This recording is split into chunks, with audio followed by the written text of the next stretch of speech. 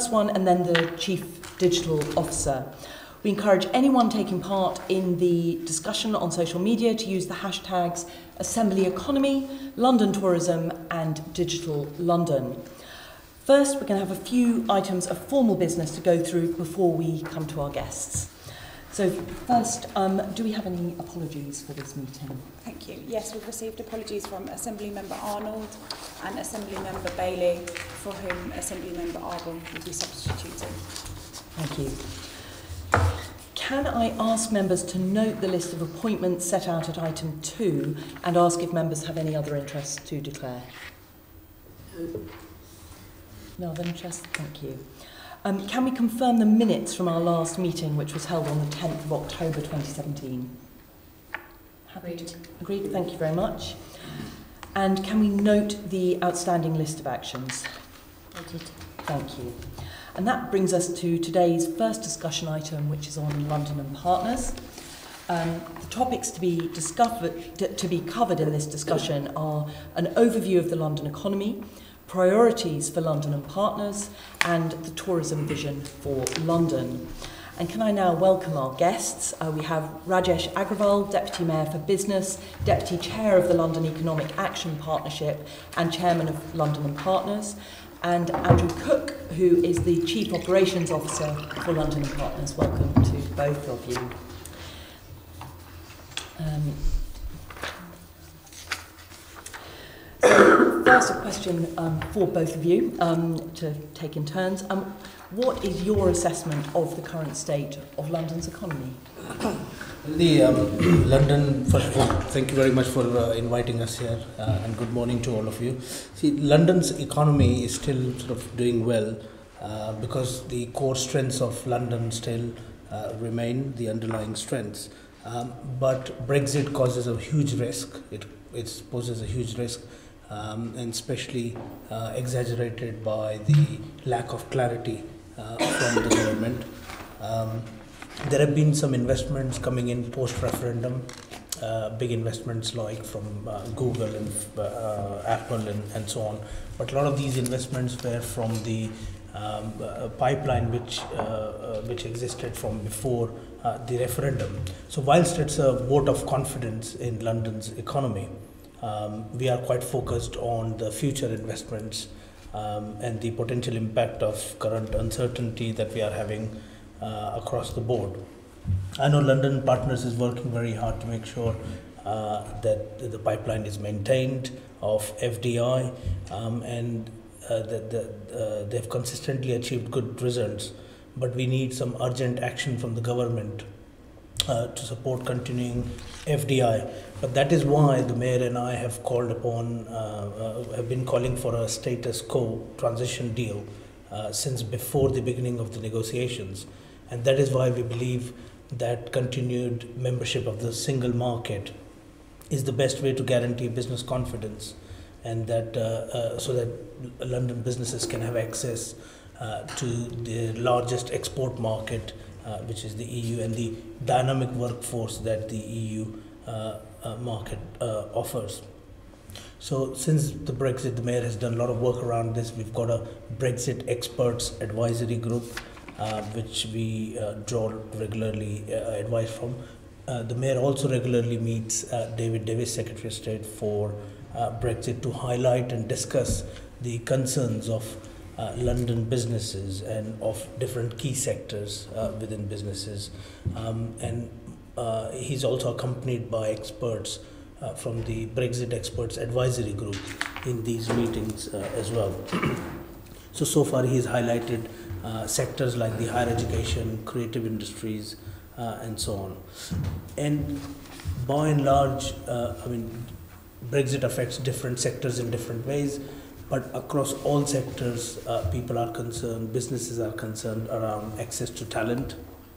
And that is why the mayor has uh, called for a qualified freedom of movement of people um, so that people, uh, so that businesses can still access the workforce from the EU, which is a very, very important part of their business.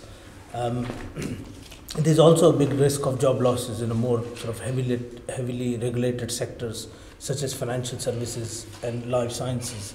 and some of these businesses are quite big, and hence they're quite sort of dependent on um, clarity from the government so that they know how the business is going to proceed thereafter.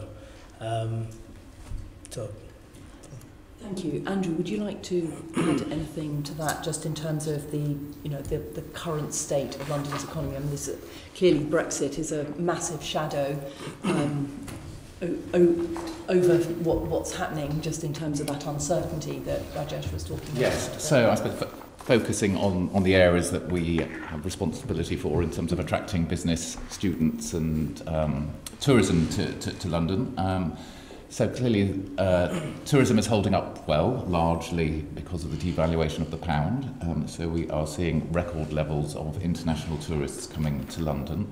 So second quarter um, up 10% compared to, to last year.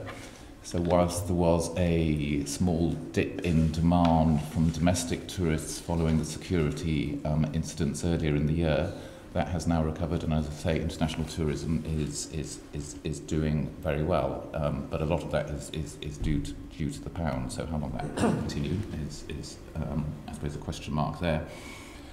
Uh, certainly from from a business perspective, uh, actually we are still seeing investment coming into London. So in terms of, uh, we have a target of, of securing around 200 companies coming to London this year, around 4,000 jobs. We've, we've met that 4,000 jobs target already, but a lot of those companies were already in our pipeline, so they were already had made their decisions or were planning their decisions um, uh, pre-Brexit. We are, though, seeing a softening in our pipeline going forward, though. So um, down at around um, 17-18% compared to last year.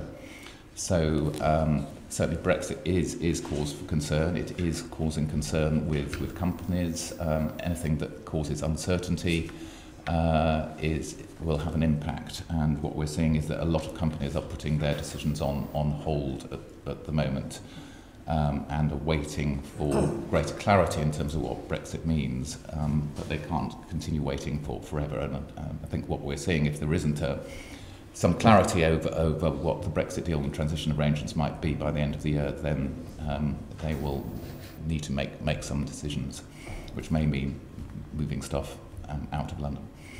Which would potentially be tough for, for, for London and Londoners. I gather that both Fiona and Andrew want to come in at this Andrew point. indicated On, first. on Brexit, I've got, I've got two points I'd like to probe with you, Rajesh. The first is you've talked a lot about what the mayor's arguing for. Are those arguments gaining any traction with government, or are they simply putting up the shutters? It seems like the so the meetings that the mayor is having with David Davis, it seems like the Secretary of State is actually listening, uh, but it also seems that the government is very divided uh, and uh, uh, reacting really slowly. When the writing is on the wall, if you speak to businesses, which I've done hugely in last uh, uh, since, since I was appointed, um, it's very clear that they need access to the single market. It's very clear they need access to the EU uh, talent, and in order to adjust, um, they will also need the transitional arrangement for status quo. Um, but it seems like it has come quite late in the day when the sort of government has actually started proposing transitional arrangement. Well, Andrew's already indicated the drop in uh, foreign direct investment. The second issue I wanted to raise was the risk of a no-deal Brexit, which is certainly something that's been talked about. Are you doing any modelling of what the impact of a no-deal Brexit would have on London's economy? Well, we think it's the sort of worst case scenario. Yeah, it is the worst Uh, case scenario, Yes. and I would agree with you about that, um, others may not. But are you actually modelling what the impact would be on London's economy if there was a no-deal Brexit? Well, I, the, the, the government is obviously uh, doing a sort of work around that, and we have to sort of prepare for all sort of sorts of uh, eventualities. Um, in terms of uh, modeling, we think still everything is sort of up for negotiations, and that's why we've been uh, talking about access to the single market, continued access to the uh, continued membership of the single market, which I think will is the best way to mi- mitigate any kind of risk. Uh, well, I agree, I agree with you. I agree with you about all those things. You know, I'm, I'm, Mm. I'm an anti-Brexiteer myself. I was originally a Remainer, although we are where we are. But that's not really answering my question.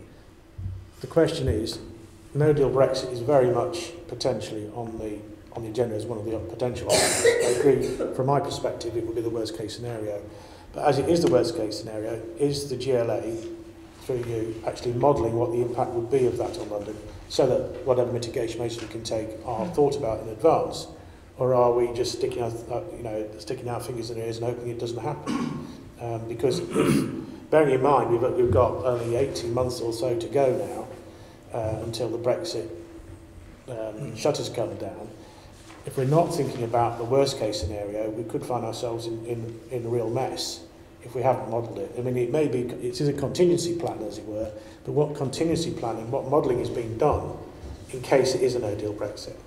So the uh, we've been speaking to businesses a lot around it to understand their concerns and what their uh, view is. Uh, the uh, deputy governor of the Bank of England has already uh, said that if uh, by Christmas there is no clarity by the, from the government on how things will proceed, uh, the jobs will start to uh, move. Uh, so I understand the sort of GLA economics has been working on uh, some of these things as to what is the sort of worst case scenario, how bad would it be.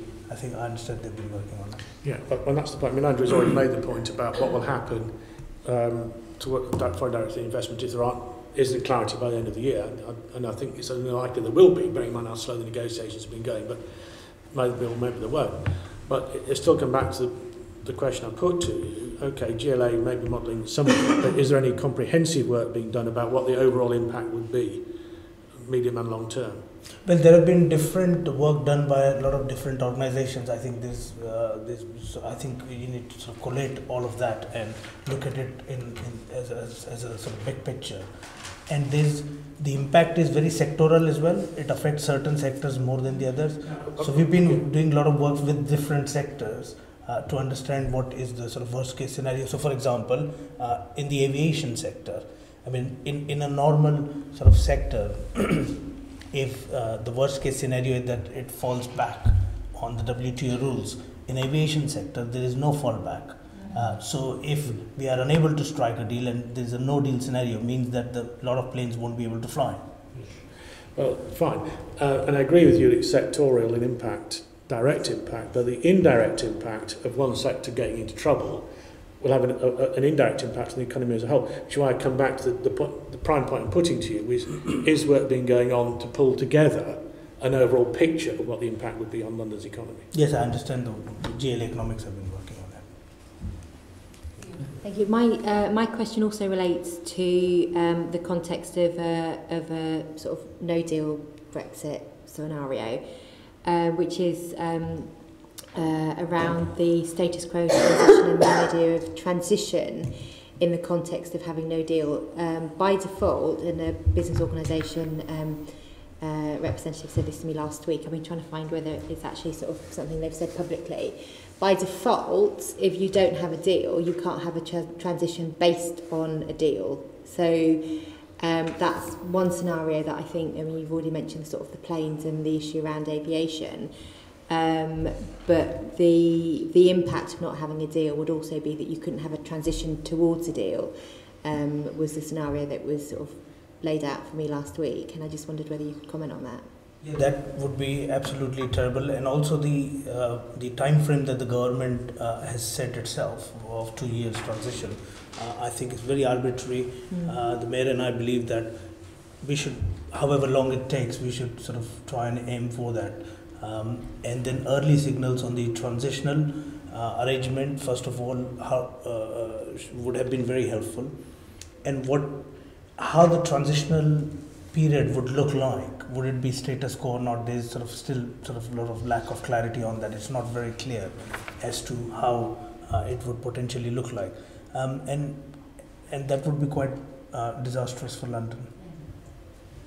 What kind of length of time would you envisage? Because two years is, is um, I mean, it's it's coming up for um, 18 months or so since the original vote. So two years actually in the scheme of things isn't very long. What kind of time frame would, would you argue would be a reasonable time for transition for London? Well, again, it's. Uh, I think we should not set ourselves arbitrary uh, timeline. There's a lot uh, in play. It's a very, it's a sort of fast-moving situation, and whilst Brexit is uh, our top priority here. It, it may not be the top priority in Europe, Mm. um, and uh, that's why we should allow ourselves, as a, however long uh, it takes, as opposed to having set our, setting ourselves an arbitrary time frame. Okay. Um, Tony and Susan both want to come in on this one. Susan, do you want to go first and then Tony? I'll, I'll be very quick because I'm you. mindful of how many questions Yes. we've got. First of all, can I just say thank you, Andrew, for being balanced because whenever I hear from, from um, senior Labour members, all I ever hear is it's the government here and the government there. The Mayor has got substantial sums of money that he can look to put into um, interactions that are going to help businesses. We mustn't lose the fact that we are that unemployment is falling that you said that we've got new companies coming in. Let's start talking London up. London's an incredible city, And actually, with the money that the mayor's got at his disposal and the, um, and, and the bright sparks we've got all around, we can make things happen. Let's not just sit back and constantly blame the government for everything. It, it's ridiculous. I hope in the next questions coming up, you're going to start to tell us what you're going to do to make things better in London, because that is, after all, what the GLA is here for, not to just constantly have a go at the, at the government. Do you Is that a No, no. statement or is there a question? It's a statement, because I'm Okay, in which case I will move swiftly on to um, Assembly Member Arbour. I suppose it's related to that. Deputy Mayor, you were uh, exceedingly pessimistic phrases you'd use like, it's a huge risk. Their writing is on the wall. Uh, don't you think there are huge opportunities from Brexit for London? I think uh, we, London has got some underlying strength, which are fundamentals of London are very strong, uh, and I think uh, we've been trying to maintain a very, very sort of positive posture. I'm very confident about London's future, but at the same time, we cannot, we should not be closing our eyes uh, on the risk it, it poses. We must not disregard uh, all the risk that the Brexit poses. So I'm very confident that you know we speak to sort of businesses and, and talk London up all the time. Well, you uh, haven't, but you haven't this morning. You haven't been talking London up at all. And in fact, the policy of this building, and I see it on lots of people's badges. Uh, that they wear around the, around the building. London is open for business. There's never been any suggestion that London was closed to business. Um, it's exactly um, as has been said by Assemblymember Hall, the London economy um, in terms of generating jobs has never been more successful. We've heard Mr Cook talking about um, uh, strength in tourism. There is still uh, strength in um, undergraduates wanting to come uh, into London. That's uh, growing in a, in a way that it has never been uh, growing before. It's also a fact, isn't it, that the number of tourists who come here from Europe is a fraction of the total tourist trade. The same applies to education, the same applies to inward investment. Much of the investment from financial institutions, where I agree with you, uncertainty is the problem. It's not risk which is the problem. No matter which way it goes, once it's settled, London is still going to be the most incredible magnet. Would you agree with that? Well, uncertainty in itself is a risk uh, that businesses perceive, and that is why the, it could lead to job losses. Is, is, is, Wh- wh- is wh- very clear. You, That the businesses, if and, and the deputy governor of the Bank of England himself has said that by Christmas, if we don't see more clarity or businesses don't get more certainty, we'll start seeing the jobs uh, well, being I would, moved. I would hope geoeconomics really is a better forecaster than the Bank of England. The Bank of England uh, has been an appalling forecaster uh, in relation uh, to Brexit. The economics department here uh, under the previous administration turned out to be correct. It was much more optimistic about what was going to happen. Now there has been a change in uh, economic advisers, i.e. you replacing Gerard, uh, has meant a complete difference in view of the future of London. Most people, I think most Londoners, uh, uh I'll ask you if you agree with this, most Londoners accept this is going to happen one way or the other, and they don't look on it with gloom, they look on it as being an opportunity. Would you agree with that? Well, I think uh, we should all look at it uh, with op- uh, with optimism and opportunity, but at the same time, we should not disregard uh, the risk that Brexit poses and the uncertainty it brings. As a businessman myself, I, I understand the, uh, you, you, I totally understand businesses' point of view. If they, you know whether they are considering to expand the business, whether they are looking to take new initiatives, uh, they will look at the market conditions. And if I do want to move us on because Well, we're still well, on the well, first well, yes, question. I, I, I understand that. But the truth of the matter is that Brexit isn't the risk, it is uncertainty which is causing the problem. And Brexit is causing uncertainty. Thank you, Chairman. Thank you very much. I think we can all agree about the uncertainty. Um, I'd like to take us back to something a bit more sort of practical. Um, I'm just wondering which sectors of London's economy you are communicating with on a regular basis, and is that um, formal communication with those sectors, or is it more sort of informal, sort of through you know dinners and things like that? So uh, there's a all, uh, there's a huge amount of business engagement uh, from uh, the from mayor and from myself uh, with all, across all different sectors, and we are using business engagement through.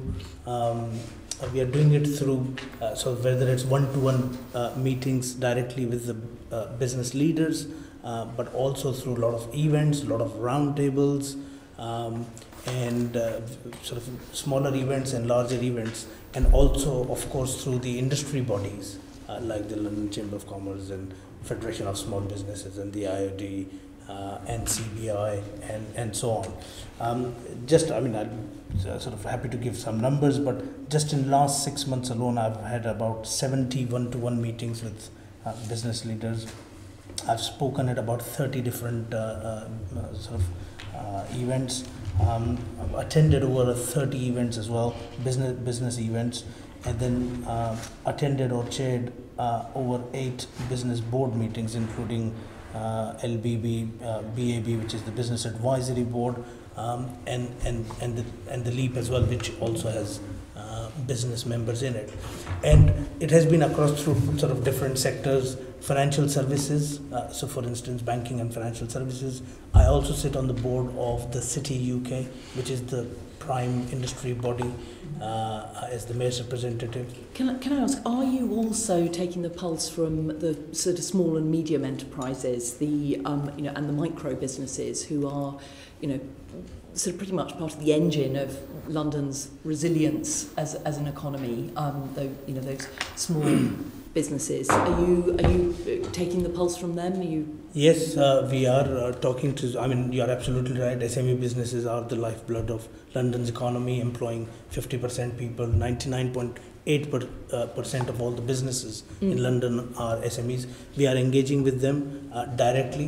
One day I woke up at four in the morning and went to New Covent Garden Market, talking to the uh, fruit and vegetable wholesalers Mm. uh, there as well, um, and uh, engaging through Federation of Small Businesses. Uh, they are being affected by a number of things around Brexit, but also domestic things like the bus- increase in business rates uh, that they are facing. Um, so we are engaging with them in a lot of different ways. Thank you. I'm going to um, let, um, sorry, is it Susan taking over the next bit? Yes, I'm going to hand over to Susan, who's going to move on to some questions which are um, on London and Partners and, and the tourism vision. Thank you. Um, the GLA has recently completed a review of L&P's funding. What are the recommendations you will need to implement, and what difference will all these changes make to the way you work? Okay, so the, the review was um, looking quite holistically at, at London and Partners in terms of um, our activities and whether we're value for money and, and where we should be focusing in, in the future. Um, so as a, as a result of uh, that review, um, we are developing a new corporate strategy, a new three-year strategy, which will look at uh, where we should be focusing our, our activities in, in the future and the outcomes that we really want to see for, for London. Um, so that is, is clearly continuing to be job, jobs and growth, um, but very much focusing on the Mayor's agenda of good growth. Um, so ensuring that uh, our activities uh, focus on the key sectors that are in the economic development strategy, of which tourism is, is now highlighted as, as, a, as a key sector within the EDS, uh, the draft EDS. Um, uh, looking at ensuring that tourism is, is sustainable so that it does benefit London and, and Londoners. And in fact, all of our work is, is, is benefiting London and, and Londoners. Um, a, a number of cities uh, internationally are, are struggling with over tourism. We don't think we're at that stage yet, but our tourism vision talks about um, a 30% increase in, in tourists. I'm sorry, I um, mistakenly said we were discussing the tourism vision. We should be on the business plan with these questions. So Right. the tourism vision in detail will be coming Okay. up later in the meeting. I apologise, that was my Okay. mistake because I did the handover. Sorry, But, you, but, but, but keep going. I'm, I'm, I'm hanging on everyone. I, I, was, I just was worried about the tour- getting into too much detail on the tourism vision.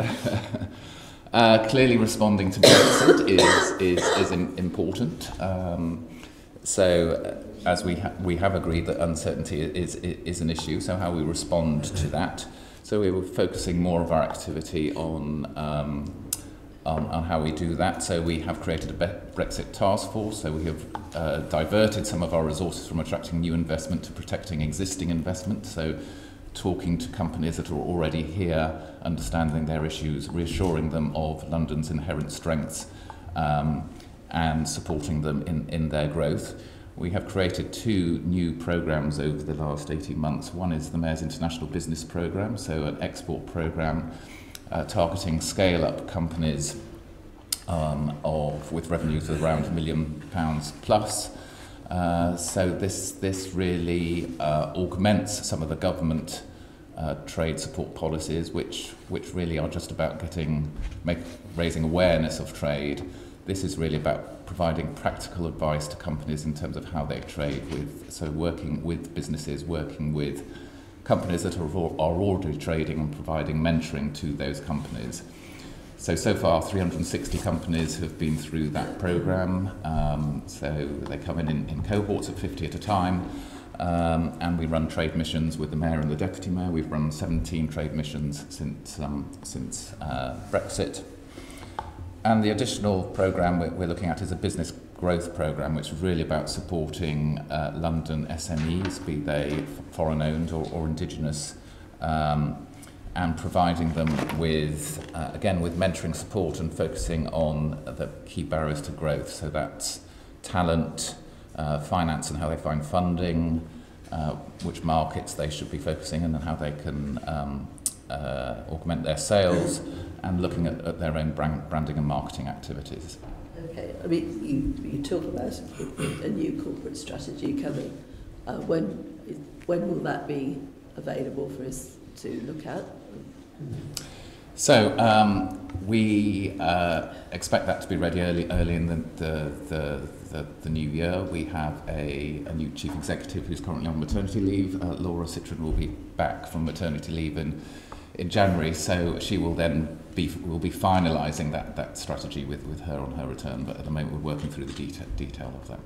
And that will have proper performance indicators in, in it, will it? Because so uh, many most, of these strategies coming out don't have any performance indicators. Most, most definitely, and we've, we've, we've focused a lot of effort in, in terms of our metrics and measurements and making sure that they are best, best in class. So we've worked with GLA Economics in terms of ensuring that our, our core measure of, of gross value added is, is focused on the additional uh, value add which our, our intervention makes um, through carrying out robust surveys with, with tourists or students and actually capturing feedback from companies in terms of how many jobs they're going to be creating, etc. So, uh, yeah, we think we're pretty robust in terms of our measurements. Um, your 17-18 business plan sets out significant shifts in funding streams over this year. So what's the thinking behind the changes? It's main, mainly in terms of this, this response to, to, to Brexit, so um, putting uh, more funds into uh, retaining companies, boosting these, these new programs, the Mayor's International Business Programme and Business Growth uh, Programme. So they are funded uh, through ERDF funding um, and then some private sector funding as, as well. So the, the International Business Programme has the likes of KPMG, BDO, um, and, and, and other businesses supporting that in terms of them providing mentoring advice to, to those companies. Okay, you're going to spend uh, nearly a million pound on the London Growth Network to support SMEs. So what practical help are you going to um, provide them? So um, that, that's uh, a little bit of what I was talking about. So we will be providing them with uh, a minimum of 12 hours uh, support in terms of mentoring and, and, and workshops uh, around those those barriers to, to growth, which I mentioned. So talent, funding, um, marketing and sales, and and then how they uh, look at branding them themselves. So Are you working with the um, Federation of Small Businesses? We, we have regular dialogue with, with, with the FSB um, and we're work, working closely with, with City Hall in terms of the growth hub that they have set up, which is an online um, business support tool. So we think our business growth service is very complementary to, to, to the growth hub. How many small businesses do you think you actually interact with? So uh, currently we have 145 companies on that program. We've got a target of four, uh, 450 companies being supported by um, 2019. Do you think you'll get to that target? Uh, yeah, we're on track so far. So that's 450 out of how many small businesses in London? We, we, yeah, we have li limited resources. Yeah, we, we, I'm thinking of what percentage of small businesses it affected, but um, um, despite the business plan proposing spending nearly 2 million of the Mayor's International Business Programme, which you touched on earlier, there's very little detail about it. So can you take us through some of the practical examples of what support you are looking to provide to potential high growth companies? I mean, you've touched on it a little bit, but um, it's very small the amount of information we've been able to gain on, this. Okay. Um, so, uh, as I said, the, the, the program is, is there to support um, uh, companies with uh, revenues of £1 million or, or that have significant venture capital funding. Uh, we're focusing on companies in key sectors, so tech, life sciences, uh, urban infrastructure. Um, the program, as I mentioned, is uh, designed to work on a peer-to-peer -peer basis. So we bring in companies in cohorts, 50 companies at, at a time, so that those companies can, can learn and support from, from each other. Uh, but also uh, are provided with mentoring support from companies that are, look, that are already active in, in the markets that they're interested in exporting to, um, as well as uh, large corporates that have a, have a pres presence in those markets as well, um, and then can provide practical support in terms of um, making them export ready. So in terms of looking at their, their, their marketing, uh, product development to, to be ready for, for, uh, for, for new markets. And then taking those companies on missions. Um, so we ask the companies what, what markets they're interested in. We don't, we're not prescriptive in that. And then um, we'll, we'll take those, those uh, companies on missions, um, uh, sometimes in, uh, in, in groups of 10 to 15 uh, companies. So, uh, and sometimes they're with the deputy mayor or, or the mayor. So the mayor will be taking um, a group of companies to on his trip to India later later this year. The mayor took a trade mission to Paris on Eurostar um, a, a few weeks weeks ago. Um, um, and then we, we will we set up matchmaking um, meetings with those companies in, in market Uh, clearly, the the benefit of travelling with the mayor is it gives them exposure as as as as, as, as well.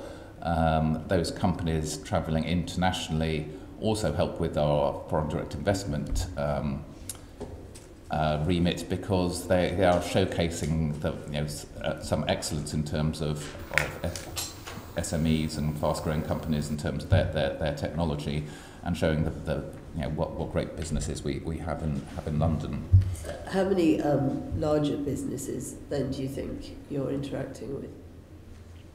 Well, these are still sort of scaling scaling businesses. Um, so to date, we've uh, supported 340 companies. Um, uh, over those those those six cohorts, and the seventh one cohort is, is launching this month with another 52 companies on that program. Okay. So, do you, so, do, so you, do you interact with the real micro businesses?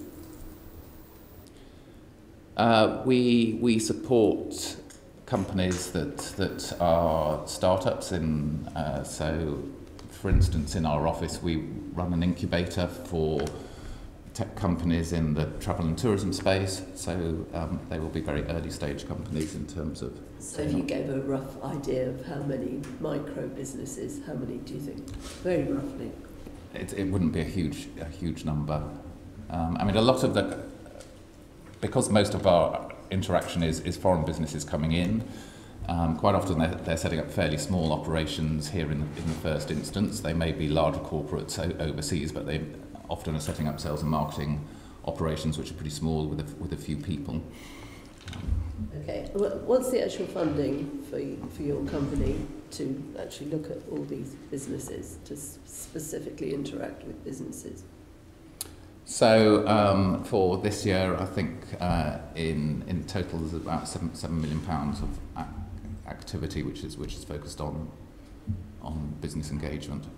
Both Six million out of that budget, out of a budget of 24. 24 million. Well, that's interesting, thank you. Um, are there any central government or local authority schemes that operate in the same space? Um, if so, how do you avoid duplication? Because So uh, the Department of International Trade has a national remit in terms of um, supporting trade, trade and investment. We work very closely with, with them and their, their particularly their, their teams in, in market overseas. Um, we also have overseas offices in, in certain markets. Uh, and in those markets, we work, work closely with, with the DI teams to make sure DIT teams to make sure we're not duplicating in terms of going after the same companies. So we all sh- share um, lists of leads, etc., uh, and make, making sure that we're, we're we're not duplicating. um, with the boroughs, actually, our business growth program um, has an element in terms of working very closely with, with the boroughs um, in helping them to develop propositions to uh, attract foreign direct investment. So we're helping them in terms of capacity building, in terms of looking at the propositions for, for their boroughs um, and we can then benchmark in terms of whether those those offers are sort of internationally competitive, whether they'd be attractive to, to foreign direct investors looking to, to set up. And how many boroughs are you working with? Uh, pretty much all of them. Really? And what's, what's the difference between the kind of support work and what the LEAP, um, the, the London Economic Action Partnership is supposed to be doing?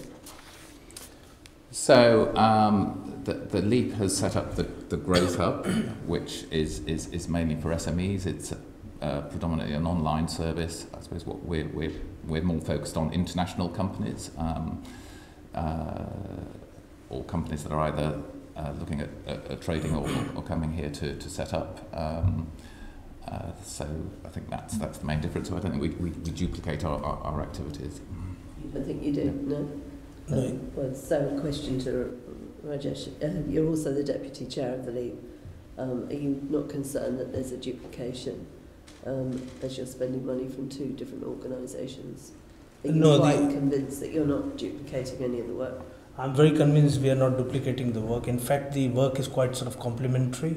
Uh, the micro businesses you talked about earlier on, the SMEs, we are reaching uh, to them through Growth Hub, which is an online portal, uh, which is a signposting website. I mean, when I started my own business, um, there was a huge problem. Whilst there was help available, you didn't know where to go for help. Uh, and I think a lot of small businesses are in same space. When you're starting out, you don't know where to go for help. Um, so it's a great signposting website. Um, uh, looking, you know, if you're looking for a co-work space, etc. So it's a very, it's supporting London businesses to thrive here, uh, small and medium size. Whereas um, the the MIBP program is more for helping them export, and it's designed for fast-growing businesses, what we call as the scale-up businesses. Also in the Growth Hub, we conduct a lot of offline things. So, for example, you may be a small restaurant, uh, but uh, you can take advantage of social media these days. But a lot of times, small businesses, small restaurants, they don't know how to use social media for business purposes.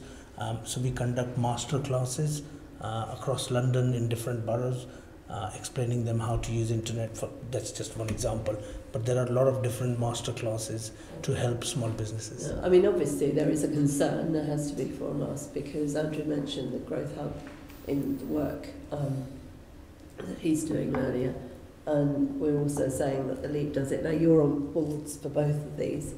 Clearly, if there's um, um, uh, public money going into these, we want to make sure that it's not duplicating because it's a waste of taxpayers' money, which of course we would be concerned about. Okay, finished. Thank you. Thank you. I'm loving the idea of small businesses, restaurants having Twitter tutorials um, to get them getting their footfall raised for their businesses. Um, I'm going to bring Fiona in here um, to look at the tourism vision for London.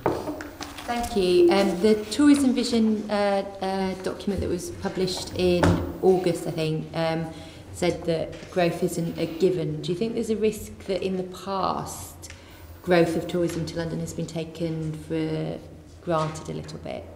Maybe direct that at Rajesh. Sorry, do you want to? That people have taken it for granted that tourism will happen in London in the past potentially.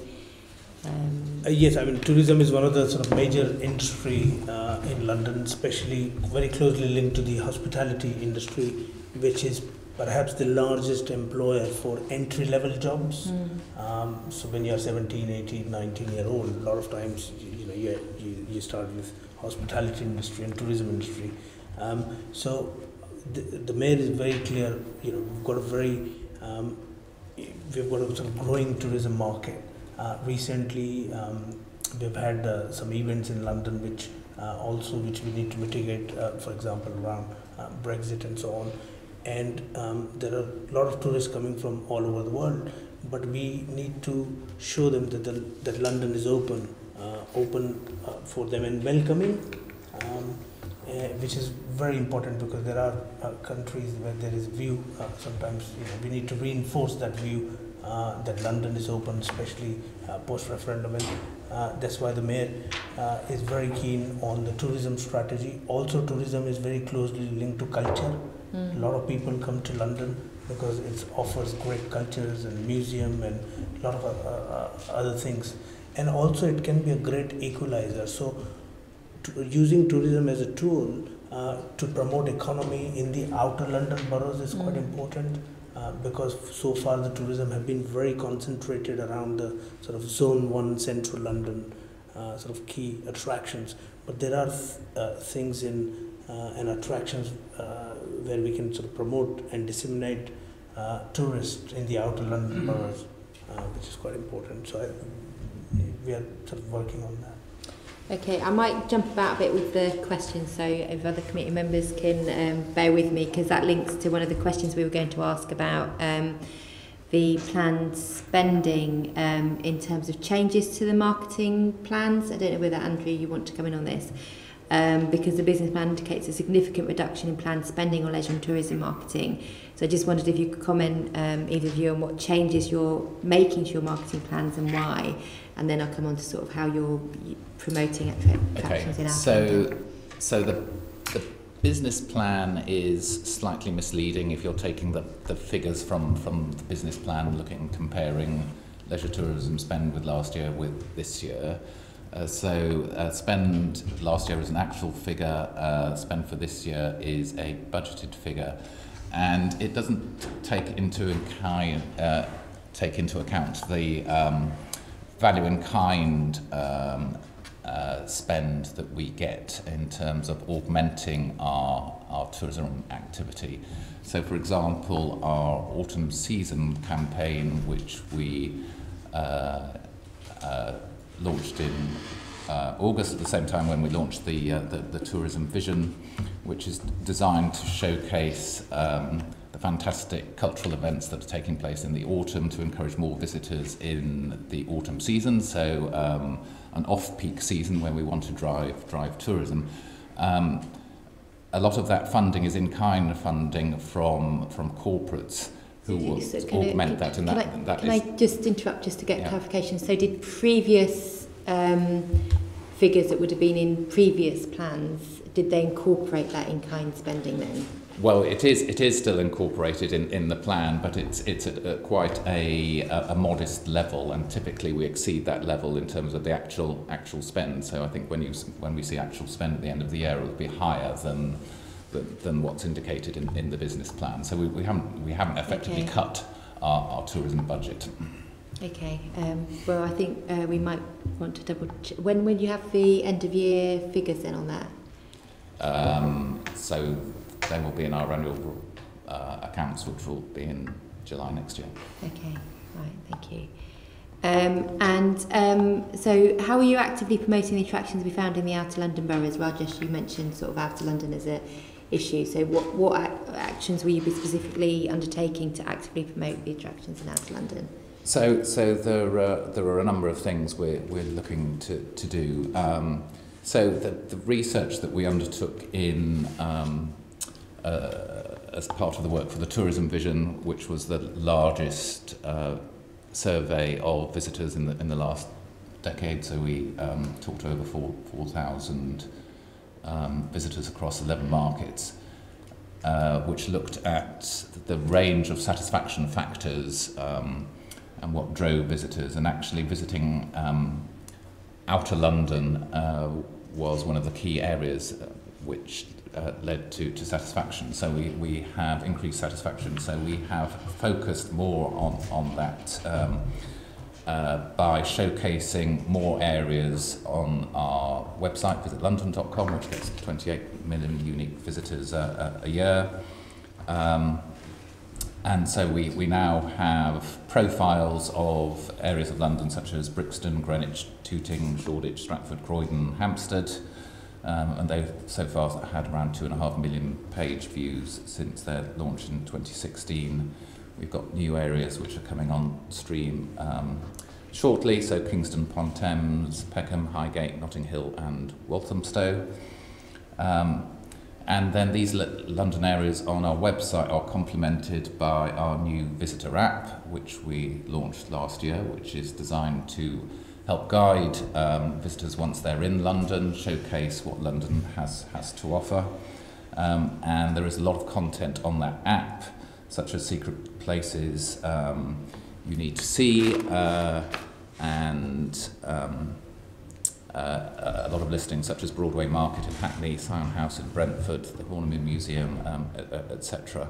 So um, the other thing we, we have done uh, in the last couple of weeks is launched uh, a new mobile game uh, which is designed to um, showcase uh, London. Um, so it uh, features Mr Bean. It's called Play London with, with Mr Bean. It's a free-to-play game where players move through levels based on London areas and interact with selected sites and attractions. Uh, the more they play the game, they can then download vouchers um, from sites in, in both central London and outer London. So it's, it's to... How's that promoted? Because um, I think all the assembly members around the room looked a little bit like that was the first time they'd heard about the new app. Um, so I just wondered, how's that being promoted? Is that being promoted to Londoners as well as to incoming tourists, or how would people find out about the app? Uh, the, the app is on. It, it, it's, it's highly rated on on the um, uh, iTunes and, and, and Google Apps. So it, it, it comes up if you're interested in an app in terms of tourism in, in, in London. It's, uh, it's it's it's top of the, the list there. So it's it's it's. Okay. Um, Could Londoners play these games? As, I mean, is it for Londoners Yes. as well to get yes, these vouchers? de- and, de- yeah. definitely. So our, our partners benefit from it. So this this is at no cost to, to, to London partners. We've partnered with. Um, Bean. With with Mr Bean, uh, so Endemol Shine, who owned the rights to Mr Bean, and and the company who's developed the the game. So we think this is the first time a city has launched a game of this this nature. So we think that's an innovative way in terms of showcasing London. We'll all have to try that then. Um, so, um, and um, does your marketing of London to the emerging markets of China and India differ from your marketing efforts to Europe and North America? From a tourism perspective. Uh, yeah, I mean, we have focused most of our efforts on um, the core markets of Europe and USA to date. Because we have limited amounts of, of funding, um, we have, I suppose, focused our efforts in terms of where we think we will get the best, best return. Um, so uh, China is a, is a market which where we see potential significant growth over the, the, the next few years. So we're looking at potentially 100% growth from Chinese visitors by um, 2025. So we are now beginning to look at that market in the best way in terms of, so our, our, our strategy at the moment is, is considering the best way to, um, to, to tackle that, that market. Okay, obviously currently Europe and North America are, are visa free. Um, and um, people coming from China may come to Europe and sort of go for a Schengen visa and how, how big a problem is uh, visitors in China sort of going for the, getting the Schengen visa and skipping the bit where they have to face additional bureaucracy by getting an additional visa to come here? So it, it, it, it is an issue. It's, it's a reason why Paris gets more Chinese visitors mm. than, than, than, than we do. Um, I think the Home Office is looking at um, um, making that, that simpler. Um, so in terms of having the same processing centres for Chinese visitors to go to for their Schengen visa and their UK visa, so they can do that in, in, in, in, in one process. Mm. So there are steps being, being made to, to, to ease, ease that. Um, um, and clearly for, for some high, high net worth or high spend Chinese tourists, it's not the cost yeah. of the visa that's putting off, it's the ease of, of, yeah. of, And so going back to the app, is the app also available in other languages such as Chinese, for example? Not currently. No. no. Okay. Um, uh, I, I just sort of that was that was just a sort of um, added question. Apologies for going off going off script, but I'm quite interested in the sort of the the the marketing um, yeah. initiatives. Um, and do you actively connect with other UK promotion bodies so that visitors to London are encouraged to explore other parts of the UK and vice versa? I mean, we quite often go on YouTube and see yeah. adverts from Visit Yorkshire and places like that. Yeah. If, uh, what, what partnerships do, do we actively have to make, make sure that happens, um, but also make sure we get visitors the other way as well? Yeah. So we're very keen to, to use London as a springboard to the rest of the UK, and we work very closely with, with Visit Britain and others to, to do that. So our autumn season um, campaign um, uh, received funding from the Great Campaign um, to, to augment that, and you know, I think Visit Britain certainly see that showcasing London is, is of a benefit to, to the rest of the UK. We've actually uh, just uh, run a pilot with the Discover England Fund, which uh, has been looking at developing packages for London and Manchester. Um, so focusing on long-haul markets, and this was initially targeting um, visitors from the Gulf, so encouraging them to fly into London and out of Manchester and developing mm. bookable product um, that uh, they could benefit from. So we worked with one of the largest tour operators in, in, in the Gulf, uh, a company called Dnata.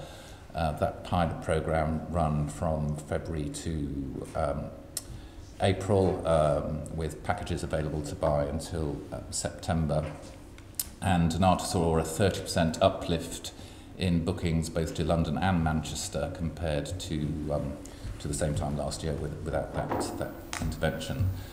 So, um, on the basis of that, we were invited to bid for additional funds. So, we're just waiting for confirmation of, of that additional funding from Discover England to extend that uh, programme to more areas of the UK. So, potentially looking at uh, Birmingham, Cotswolds, Lake District, working with Manchester uh, again.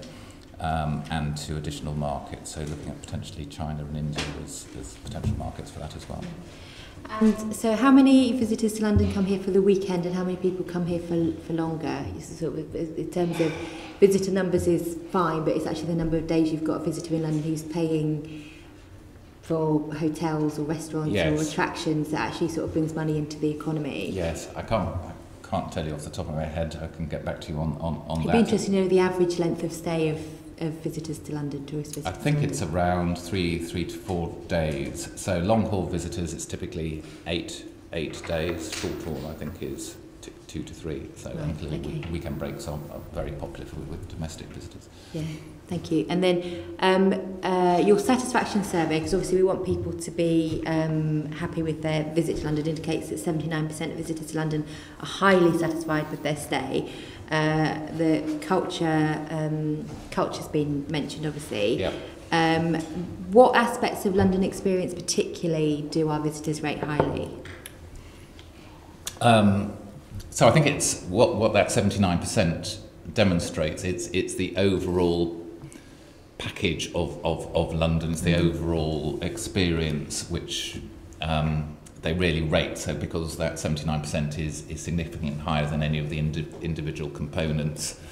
So coming here for an event scores at sort of 68%, culture 67%.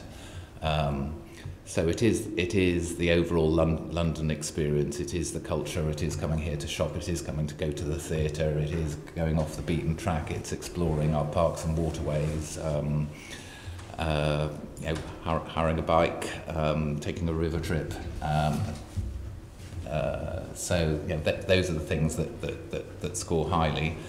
And there are some areas which we could potentially improve. So, interestingly, food was an area that scored um, lowest in, Mm. in, in, in our survey. So, I think there's, there's an area we can do in terms Food of. Food scored lowest. Yes. Yeah. Okay.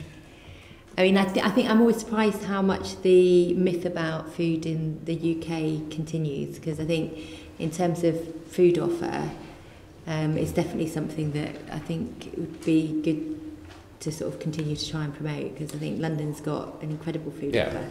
Uh, I think it has. So I think there are a number of factors there. I think there's a sort of perception lag that um, uh, a number of markets haven't really got up to speed that actually we do have a fantastic food food offering now. Um, we think there's a particular issue in terms of not fantastic food near tourist hotspots. So actually people who research their food offering are very satisfied, but most people don't. And they're just wandering ar- ar- ar- So they get around overpriced under sort of quality food. Yeah. Yeah. Okay. Um, that that actually sort of um, probably makes sense. And um, my reaction to sort of 79% of people being highly satisfied um, leaves the question: Why are the 21% not? what what is it about the experience for those, um, albeit a minority? Um, what is it about their visit to London that they raise as, as issues? I mean, cost cost is the biggest one. Um, I mean, London is an expensive city. We can't really do a huge amount uh, uh, uh, about that. Clearly, the, the, the pound is, is helping with that at, the, at the moment in terms of it being sort of 20% cheaper for, for a number of, um, of, of, of, of markets. Um, overcrowding in certain places, making uh, it a, um, a less attractive experience, and that's something we want to do more about, and that's part of the rationale for spreading tourism both during the year, during the day, focusing more on the nighttime economy, um, um, and then spreading tourism across London as, as, as well. And we're talking to TFL in terms of how we can ease congestion in certain um, certain areas of, of the um, the tube network at certain times um, by encouraging visitors to, to go to different places. And um, is that one of the key recommendations about how you'd improve or sort of sustain high visitor satisfaction rates? And what other recommendations would you have for the for the industry and actually also sort of the organisations like TFL? So I think um, we're, we're working closely with TFL. A lot of it is about better information provision. Um, so it's um, providing clear information for people, particularly how to get around London and how they can get to some of these out, outer London areas. And that's the part, the key, key barrier, I think, for people mm. to go even further afield. They don't know how long it's going to take them to Greenwich, what they can do there. Are they going for a couple of hours? Is it going for half a day? Uh, how long is it, can they get back to their to their theatre trip in the evening? So I think it's it's it's much more about uh, better information, digital information. So again, that's one of the reasons we created the app to to to help with that. Yeah. Okay. Thank you. And um, I think Rajesh, you mentioned the. Um, publication of the draft culture strategy later this year. Um, what input um, has London Partners had into the document? We work very closely with London partners. Um, apart from me being the uh, chair, we've also got some GLA observers on board, mm. including the deputy mayor for uh, culture uh, on, on, on the board. um, as, as an observer on uh, L&P. So we've worked uh, very, very closely with them. Okay. Um, and um, Andrew, to what extent does your own business plan look to encourage grassroots culture and economies? So, um, I suppose what, we're trying to do is, is balance. Clearly, the you know the, the the blockbuster attractions are on the must-to-do list um, for for visitors. So we do lead with those, but we do showcase a much broader offering on our on our um, our digital channels as, Yeah. as, as well. So our autumn season focuses on, on some of the great things to do, like uh, uh, you know the blockbuster exhibitions, but also talks about some of the, the, the smaller exhibitions that are taking place at small galleries across London as well. Okay, thank you. And I'm, I'm going to go back very quickly back to the app thing because I think it's quite an interesting aspect of um, most people, um, she says very sweeping statement, would sort of look at TripAdvisor reviews. So do they help or hinder the growth of sustainable tourism in a city? Mm, that's that's a big question. Um, And how would an app um, about Mr Bean sort of compete in terms of getting a different message across potentially rather than just going on the weight of numbers who are putting in reviews? So I suppose what, what we can do is is focus our activity and our content on our app and on the game on areas that we want to showcase, whereas clearly Tri- TripAdvisor is, is showcasing everything. So we can shine a spotlight on some of those outer London areas, both on the app and, and through through the game. Um, so you know, encourage people to see more more of London, um, whereas you know, commercial enterprises will be more focused in terms of showcasing that what's going to give them their biggest biggest return. Yeah, okay, thank you. And then very, very finally, apologies to the chair. Um, um, with hospitality and tourism, obviously it is entry level work in a lot of cases. We get a lot of people from overseas coming to work in hospitality in, in industry. There's still an issue with low pay, and obviously this week we've seen the London living wage rise to over £10 for the first time.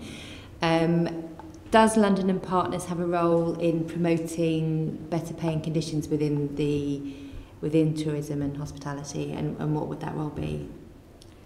So um, we have certainly talked to the Living Wage Foundation in terms of um, uh, how we could um, spread spread their, their message to, to the tourism industry in terms of running events um, uh, for for them. I think that the industry recognise that them, themselves as part of our consultation with the uh, Tourism Vision. We talked to the Sector Skills Council for Hospitality. I think they they recognise particularly in terms of the shortage of, of skills and the potential issues around Brexit if, if we don't have um, EU workers here that, that, that they, they need to look l- much longer term in terms of career development for, um, for that. And that's something that, that uh, People First, the Sector Skills Council and British Hospitality Association are focusing on at the moment. Okay, thank you. Thank you, thank you for bringing in the living wage this week. It's a good, good question. Um, Susan, you wanted Yes, to that would come in good. briefly Yes, on please. that section of questioning. Um, out of your £24 million pound, um, funding, how much of that is for the tourism budget? So, uh, can't remember off the top of my head.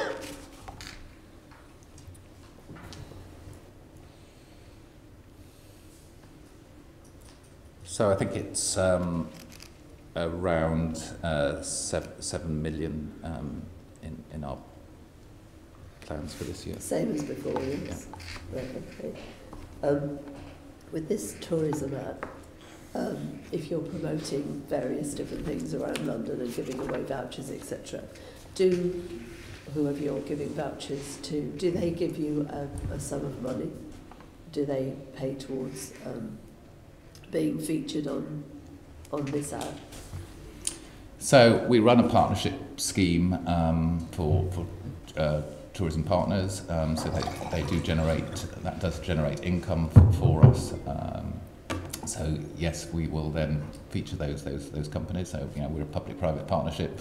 We try to augment our GLA grant so we can leverage that as effectively as we, we can and extend our reach by, by having and commercial funding as well. within the 24 million you say. It does. The money Yeah. comes in. Out of interest, how much does it cost to run the uh, London and Partners? What's the running cost? What do you mean by the running? As in um, rent rates, uh, overheads, um, uh, wages, etc. Um, so we're, we're a people-intensive or, organisation. Um, yes, absolutely. So I, I would say probably half half of our, budget is, is focused on, on on staff and running costs. So about 12 million. Yeah. Okay, thank you. Um, as, as an interest, do either of you work with Amy Lamé? Yes. You, do you what do, what do you actually do with the nights out? So we've been we've been talking about how we can um, promote the nighttime economy. As I say, it's one one of the, the discussions we, we've had in terms of the, the tourism vision, in terms of um, encouraging more visitors to to uh, explore um, uh, both London at, at night and as as well as day. Um, um, other other other cities are, are seen much more for their nightlife, so we're keen to to to promote that more in in London. Um, and I sit on the nighttime commission as well. Oh, do you? Because the last time we ha- we had an interview with the um, gentleman Philip Kolvin. Kolvin. Yeah, he hadn't got a commission. He was chair of it, but nine months in, he had no commission at all. Well, it's had its So- first it's had its so first meeting now. Its first meeting in a year. Oh, lovely. Excellent. I love it when things start to happen, albeit a year on. Well, excellent. So are you the only member of it so far, or No, has no, he no, found no. some others? no. He's found some others. Yeah. Excellent. Good. Is that it? Um, well, it looks like it, doesn't it? Another Excellent. year, you might have had another meeting. It's I all too suspect they may have there's one another more there's another meeting uh, later so. this month. You'll be pleased to hear. Excellent. Double that of what um, there was before. Joy. Thank, Thank you. I'm finished. Um, we're now going to move on to look at um, a tourism uh, levy for London. This is something that happens in several uh, other um, uh, capitals acro- um, across the, across the world, and um, Andrew is going to lead the questioning. Yeah, I mean, there's, nothing, there's nothing new in the idea. I know the, the London Finance Commission talked about it in 2012, but I remember when I first started in politics in 1982, debating this on, uh, at the Westminster City Council, who were at that time in favour of it. So it's been around for at least 35 years to, to my knowledge, and nothing much seems to have happened since. So, um, have, have you looked at how, I think it's mainly for Rajesh, have you looked at how it might work, it work in London? Well, there are various ideas. Uh, like you said, it's been around for uh, a long, long time, and uh, it's been proposed by the London Finance Commission too, uh, as well. And it's not an unusual proposal. Other cities have it. Um, it's one of the ways we can actually uh, raise some funds, and that those funds can then be utilized to boost uh, tourism and other sort of related industries in London as well. Currently, GLA has got no tax raising powers. Um, so obviously we think it's a really good idea, and it's not just for London. Actually, it should be sort of devolved to other regions as well, where they are then able to uh, boost uh, the uh, local uh, tourism. In Paris, there is a levy based on uh, hotel star ratings, and in Berlin, it's around five percent as well. Um, so the mayor continues to sort of make make the case for London, uh, it can make a big difference, and not like I said, not just London, but across it should be devolved. So the real uh, principle is more uh, devolution uh, around this. Well, I mean, I think I think that's important. I mean, the level at which you pitch it is quite important. I, you know, I was in Strasbourg few weeks ago, worked out I think about two euros a night, which is something you wouldn't really notice, particularly bearing in mind the drop in the value of the pound. Is probably a good time to do it uh, because it would be absorbed by the by the exchange rate. Um, so, has, has much thought been done on modelling what the likely revenue would be and how you might pitch it? Well, again, there are sort of uh, various models. Uh, I mean, you could even have it sort of voluntary to start with. But the, the important thing is the idea of it rather than just a sort of percentage, the concept of it. Uh, I think, first of all, the uh, we, we, uh, London would need more powers to be able to sort of um, impose the levy. Um, and I think it, it should be really welcome. I think, you know, most cities have it, and it would just help so much in boosting tourism and other sort of related industries in London will make a big difference. There's also a question how it relates to boroughs. I know when I mentioned Westminster, the real issue in Westminster was the cost to the council of servicing tourism, which was mm. significant, yeah. uh, which was effectively paid for by the what was then the ratepayers of, of, of Westminster. Um, so, have you thought about how it might relate to the boroughs as opposed to GLA? Well, it would be more sort of, uh, I think, GLA, and then it would be sort of spread across boroughs to give give give a boost. Um, one of the things mentioned in the tourism strategy has also been, which we are not quite at a level, but over tourism, there are cities in Europe uh, where there is a backlash against tourists. Uh, um, you know, because in a way, a lot of times public is um, um, uh, they need to see the real benefits coming from tourism. Uh, it's quite important, and I think this would be one of the ways through which you can raise money and, in a way, show more to the general public that you know it's directly benefiting them. Okay, you, you mentioned Paris and Berlin, I think. What, what other international comparisons have you looked at? Well, quite a few. New York, uh, New York has got it. Uh, there are quite a few cities around the world that have got I mean, normally um, different names, but like for example, when you're sort of traveling to quite a few cities and you check out at the hotel in the bill, you see there's a city tax. It's called. Um, so that you see across uh, a lot of places. So most of the sort of big global cities have got uh, some some sort of a city tax. So have you discussed this with the government and what uh, what they saying about it? Because presumably it'll need primary legislation to do it. Yeah, it requires uh, uh, legislation to do it and sort of further devolution uh, of the tax uh, powers. Um, and this is sort of part of the sort of wider argument around the sort of fiscal devolution uh, for London. Um, and uh, uh, so I think, and it's now that there are metro mayors in place in other parts as well, and, and the mayor has been saying that it's not just for London, but actually uh, whether it's uh, uh, Lake District or Dartmoor or Manchester, they should have uh, similar sort of powers too. Um, so I think now there's a good opportunity to actually go back to the government with the sort of more sort of metro mayors and make a case for it. What the government said in response? Are they prepared to listen to this? Are they going to do it, or are they saying no chance? well, uh, at this stage, there's a, uh, there's a sort of lot uh, going on, I suppose, and uh, uh, it, it's part of the sort of wider uh, argument around evolution rather than very specific one. Maybe one way to do it is to chip away at it a bit at a time rather than trying to do the whole thing in one go. One of them? Maybe one way of doing it is to do it a bit at a time rather than try the whole thing in one go, some giant big bang, which they may be less likely to concede. If it means, for example, um, transferring central government tax raising powers to the city, that is a much more difficult thing to achieve than starting something new, which is city based, where the government isn't actually losing any revenue from the centre, which it would be if you had other sorts of fiscal devolution. Uh, this is again for the sort of mayor and uh, other sort of metro mayors together to uh, now look at it. I think. Okay, so what's the next steps?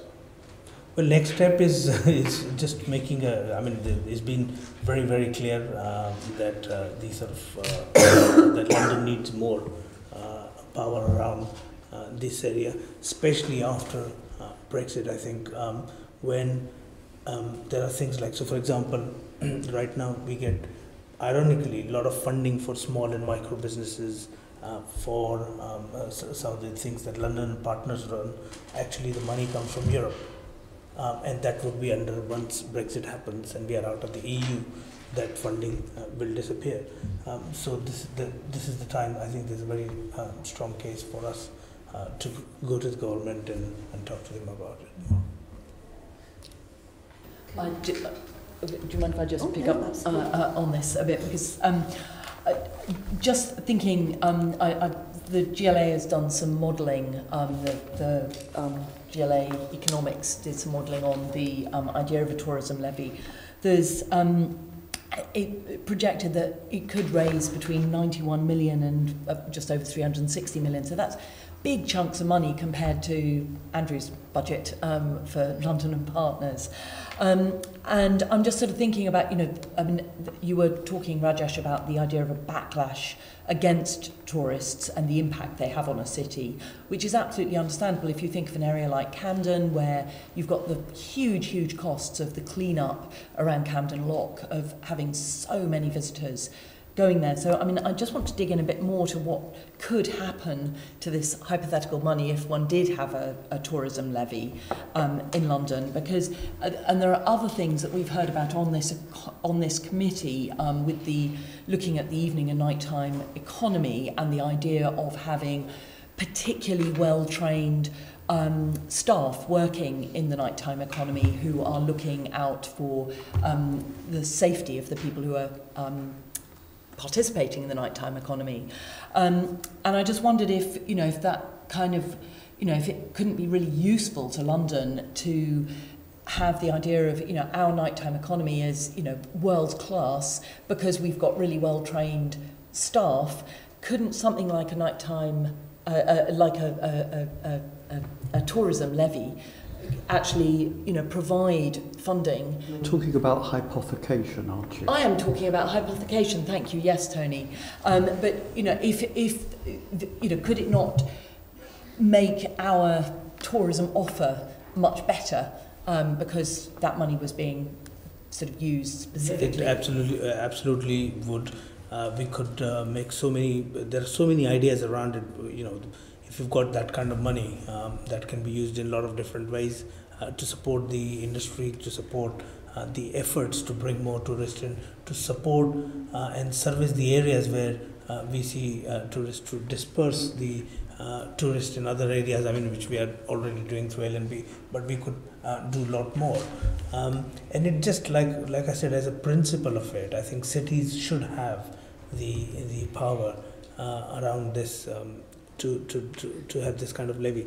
Um, it's, it, so the argument is more wider. So you are absolutely right. Hypothetically, once we receive it, we can um, use it in a lot of different ways. But the principle of it is is hugely important. That uh, uh, sort of going forward, um, that cities uh, and regions have got power to um, uh, raise.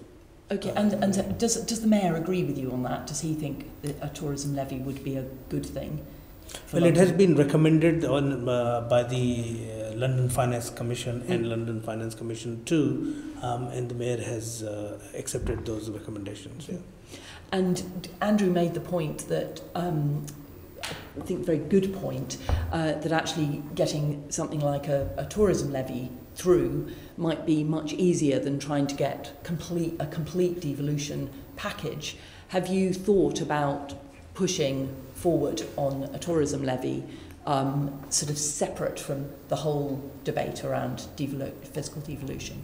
Well, again, now it's uh, now that the metro mayors are in place, and it's not just about London. And I think you know, I, I think it's we should talk around the sort of wider principle, and along with other metro mayors, we sort of make make a case for it. Um, so it's not just a Lon- London thing. It would, you know, if it is done in Dartmoor, it benefits them. If it is done in Lake District, if it is done in Manchester, it benefits them. Um, mm -hmm. So I think it's uh, sort of collectively uh, making the case as opposed to just for London alone now. Mm -hmm. And um, and then just one other um, point that relates to this. In Amsterdam, I understand that Airbnb collect um, a tourism levy, Um, and we're going to be talking in the second half of our meeting about disruptive technology and um, you know new business models. But I'm just wondering if um, you know, w- whether you think that Air, sort of getting Airbnb to, uh, organisations like Airbnb involved in something like this would actually help in terms of getting them to put something back rather than simply taking Absolutely. Again, tourism levy would be applicable whenever it comes in on on on these sort of platforms as well, Mm. um, because increasingly these platforms have become quite important uh, and they have to play their own sort of role. Uh, uh, and and uh, tourism levy would be another sort of way of them giving back uh, in a way. Mhm. Thank you. Um, Susan, did you say you wanted Just to? very quickly, I'm. I'm just very concerned about this. London is a very expensive city. Quote from you earlier, Andrew. I wrote it down when you said it. I agree. Do you not think that um, we're in danger of reducing people coming because of costs implications? Well, again, right now the sort of uh, weak sterling is uh, help from a tourist point of view. Is that your question from a Yes. tourism well, point of and us, the people running the businesses to service that industry, i.e., Londoners. Um, yeah, so London is, uh, you know, we've got, so there, there are a number of strands to it. So, for example, housing uh, is expensive. That is one of the strands when, when we say the cost in London is high. Um, and that is why the mayor is sort of working on solving the housing crisis we have. Now, that also No, no, Andrew was referring to it as being an expensive place to come and be. Um, I'm just saying that we've got to make sure that we don't limit the amount of people coming in for our tourist industry. Surely taxing people, or whatever you want to call it, um, is another way of, of making everything more expensive and thus would be a problem. It's a euro. I mean, it's, it's a pound potentially a night on a on a room. Yeah, and it's a little bit here and a little bit there. I'm just saying. I'm asking the question. Yeah, so just to, I mean, respond to that, it, it's a very, very small amount. Um, it's something we are not trying to prevent. If anything, our job is to promote tourism, bring more and more. We are, uh, London and Partners is sort of measured uh, on, on that number of tourists sort of coming in and uh, the amount that they're, they're spending here. If you look at sterling, I mean, it just, since Brexit, in last sort of one, one and a half years, it's moved and dropped at 1.15, 18%. Um, um, so that has made it so much cheaper for uh, tourists. So there you are. You've already found the benefits of exit. well, a weak currency is, uh, but equally it's sort of uh, detriment. I mean, it's really bad if you are importing, and that's why the inflation yes, has yes, gone yes, I know that. I Yeah. was being flippant from your opening comments.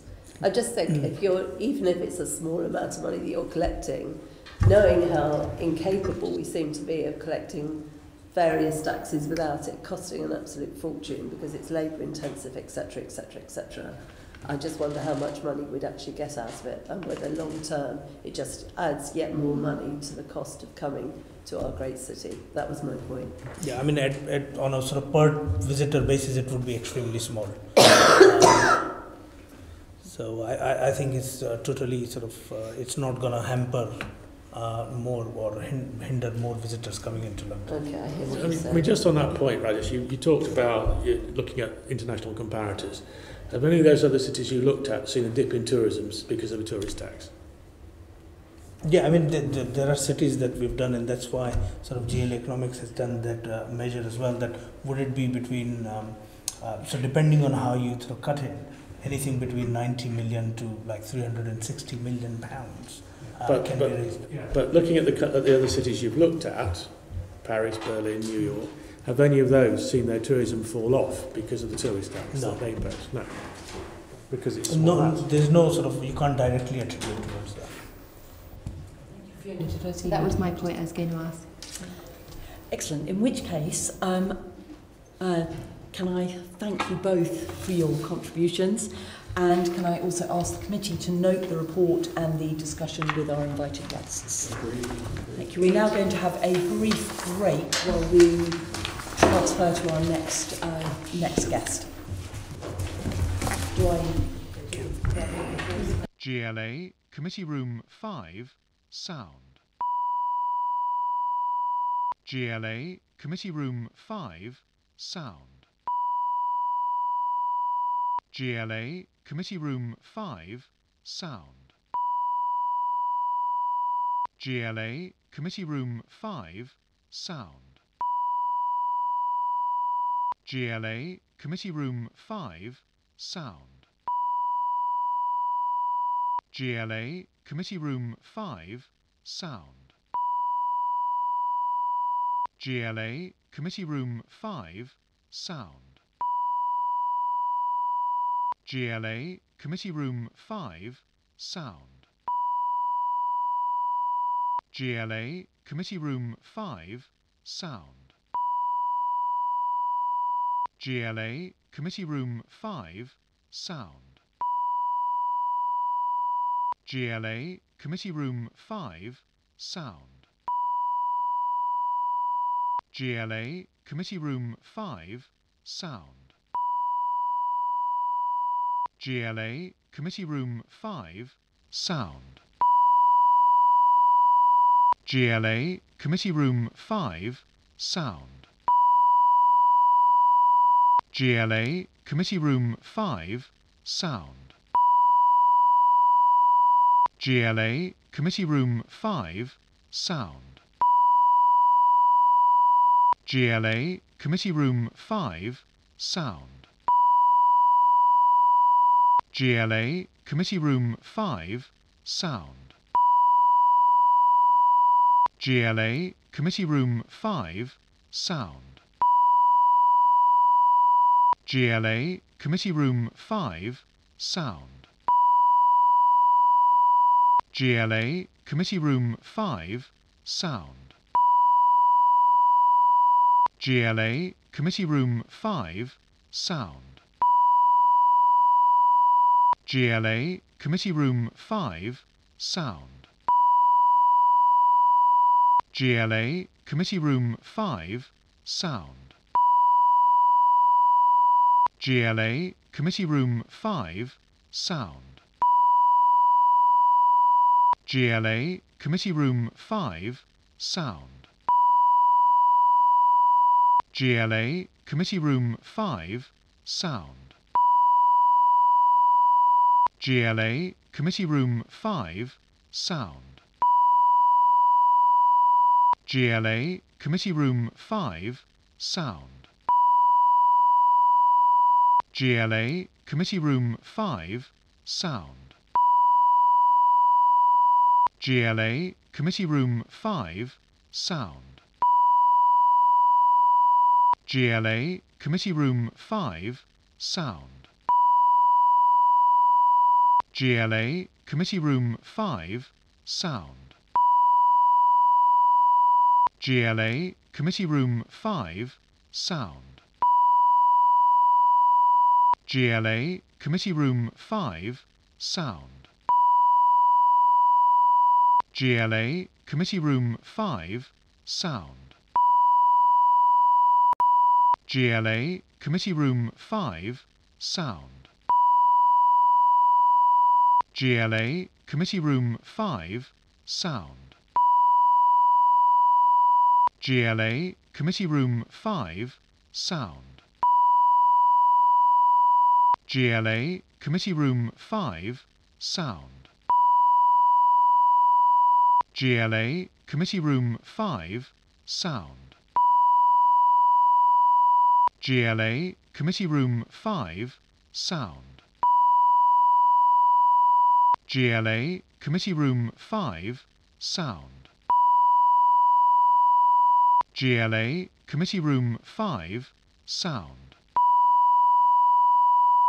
GLA Committee Room 5, Sound. GLA Committee Room 5, Sound. GLA Committee Room 5, Sound. GLA Committee Room 5, Sound. So we are resuming our meeting, having had a changeover of guests. Um, and uh, so this brings us to our last discussion item, which is on the role of our Chief Digital Officer. Um, this, the, the key aims of this item are to uh, discuss the roles and responsibilities of the Chief Digital Officer, look at the Chief Digital Officer's priorities and delivery plans, and um, delivering mayoral ambitions around data protection and digital inclusion. So can I now welcome our guest, Theo Blackwell, who is the first, I think, uh, Chief Digital Officer um, here at City Hall. Um, and I will uh, kick off by asking you, um, what is your digital transformation agenda uh, for London's public services? Right, uh, so I'll just explain a little bit about the origins of the Chief Digital Officer role um, and uh, what I see as the, as the way forward. So in the manifesto, the Mayor committed to establishing a Chief Digital Officer. It was a response to uh, a fairly strong lobby from the tech industry uh, and uh, many of the London boroughs to create such a role to deal with uh, what was uh, what's perceived to be the coordination deficit across London's public services uh, and a need for more uh, a clearer way to engage in public service transformation.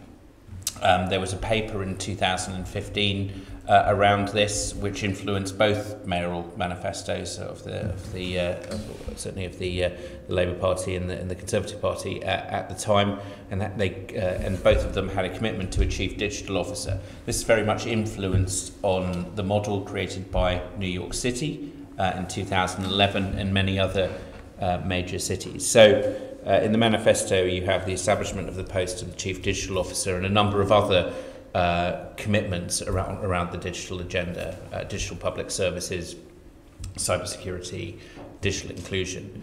So, with the mandate that the mayor has and the role uh, being created, uh, those are obviously key, the key priorities in shaping the agenda uh, as we look forward.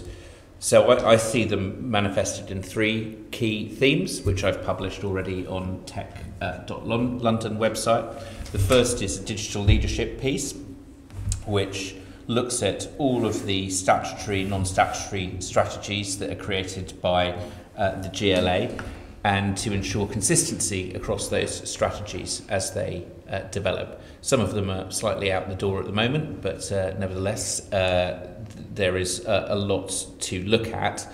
Um, the key strategies for me at the moment being the economic development strategy, which is in draft form, and also the development of the London plan, but also this sort of bleeds into health and uh, many of the other statutory responsibilities. So what do I mean by strategic alignment? Uh, I mean that when we use the word smart, when we use the word data, when we describe the digital economy, we are all trying, we're, we're all, we have a consistency of language and meaning uh, and intent by this. And I think that's really important because it's not just for City Hall, it's how that uh, is read by the boroughs, the main delivery uh, partners for us uh, in many of these areas.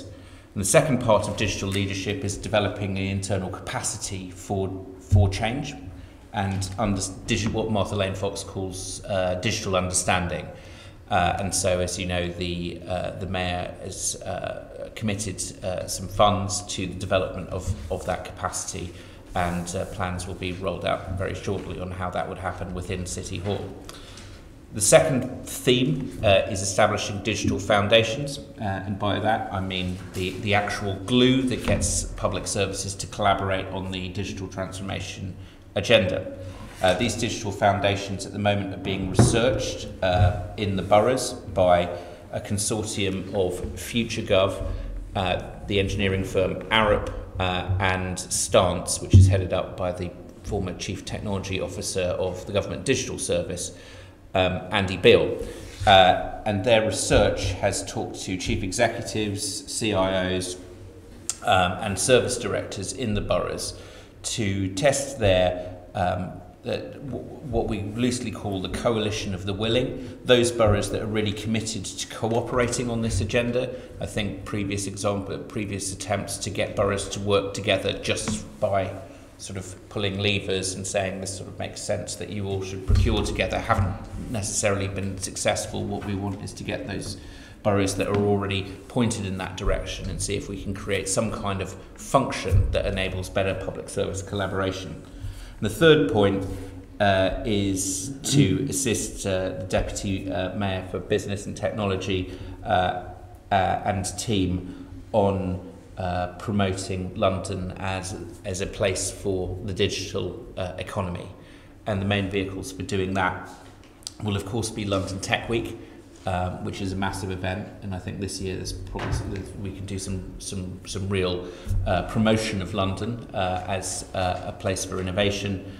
Um, and a range of uh, other initiatives that I think are really important. Uh, diversity in technology, um, a major issue for that sector, uh, and also dealing with our, our digital inclusion deficits in London. So those three themes come together in a Smart London plan, which um, we're looking to start a big listening, listening exercise at the beginning of, of next year, um, thinking to plant a plan in the middle of next year. And that plan won't be a new strategy, because I think there are quite a lot of strategies uh, around, but it will have uh, distinctive uh, uh, actions, deliverables uh, that will be judged against.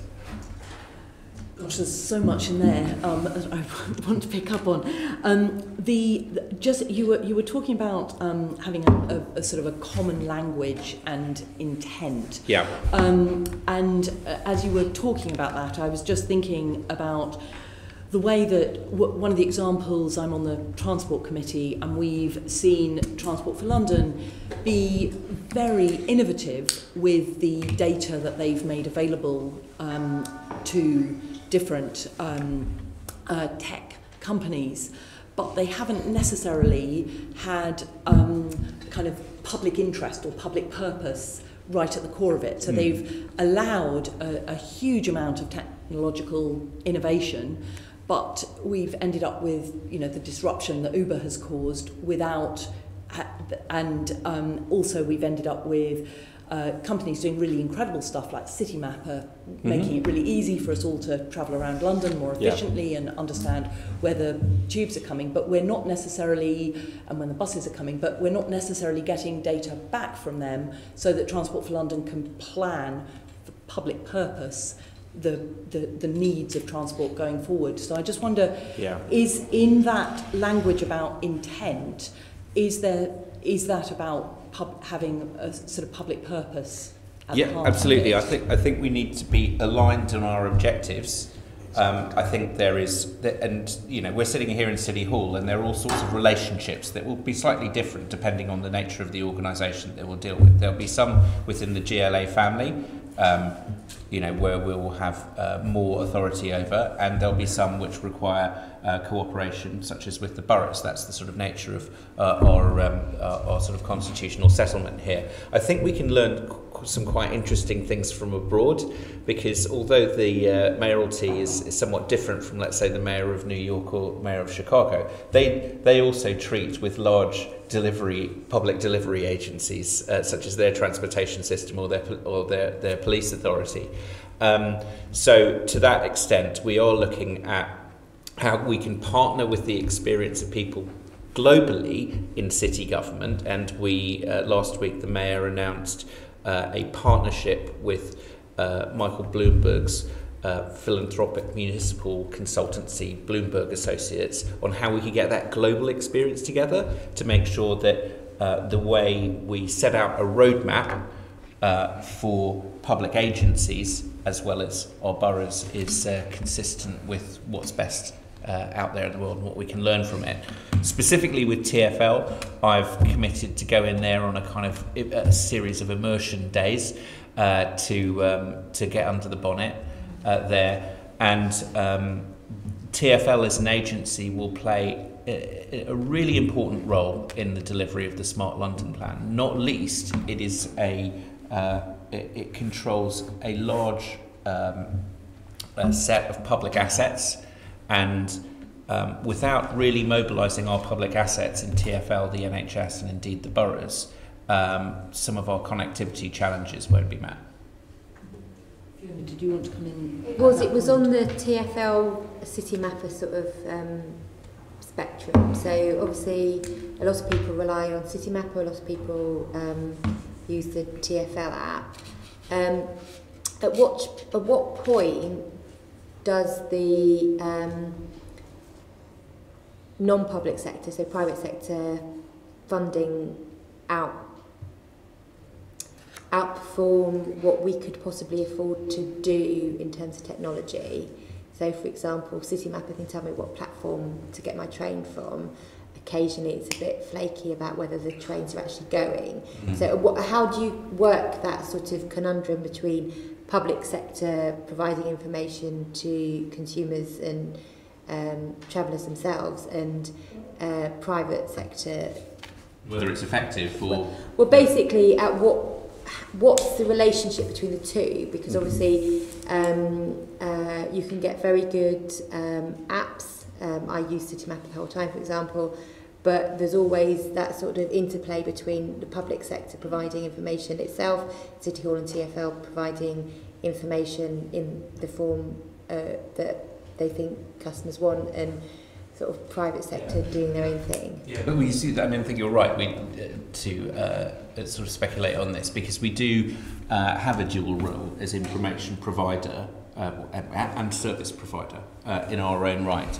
Um, uh, I think in the, in the first instance we should be looking at much more you know, common standards of uh, data sharing information right across London's public services as a whole so they can be used for the public benefit uh, and for uh, commercial uh, exploitation uh, should they want. I think there is a ongoing uh, discussion about what the nature of, of uh, private sector involvement you know, should be um, and how the data is used and data is shared. Um, so we are guided by the Smart London Board, which was set up before uh, I arrived, um, to discuss some of these uh, issues uh, in more depth. Um, I think the scale of the number of services provided by the public sector is so large that it's quite difficult to to you know to put put down very specific rules that govern everything. An average metropolitan authority, for example, has between 650 and 700 lines of business, vast majority of which are supported by actual technology. So that could range from something that you're required to do by law through to something that a borough pro- provides sort of voluntarily to its residents. Uh, and equally, scoping that in TFL will provide a huge range of services. The first thing we need to do when we kind of when we're looking at coordination uh, across public services, take a step back and find out really what's out there.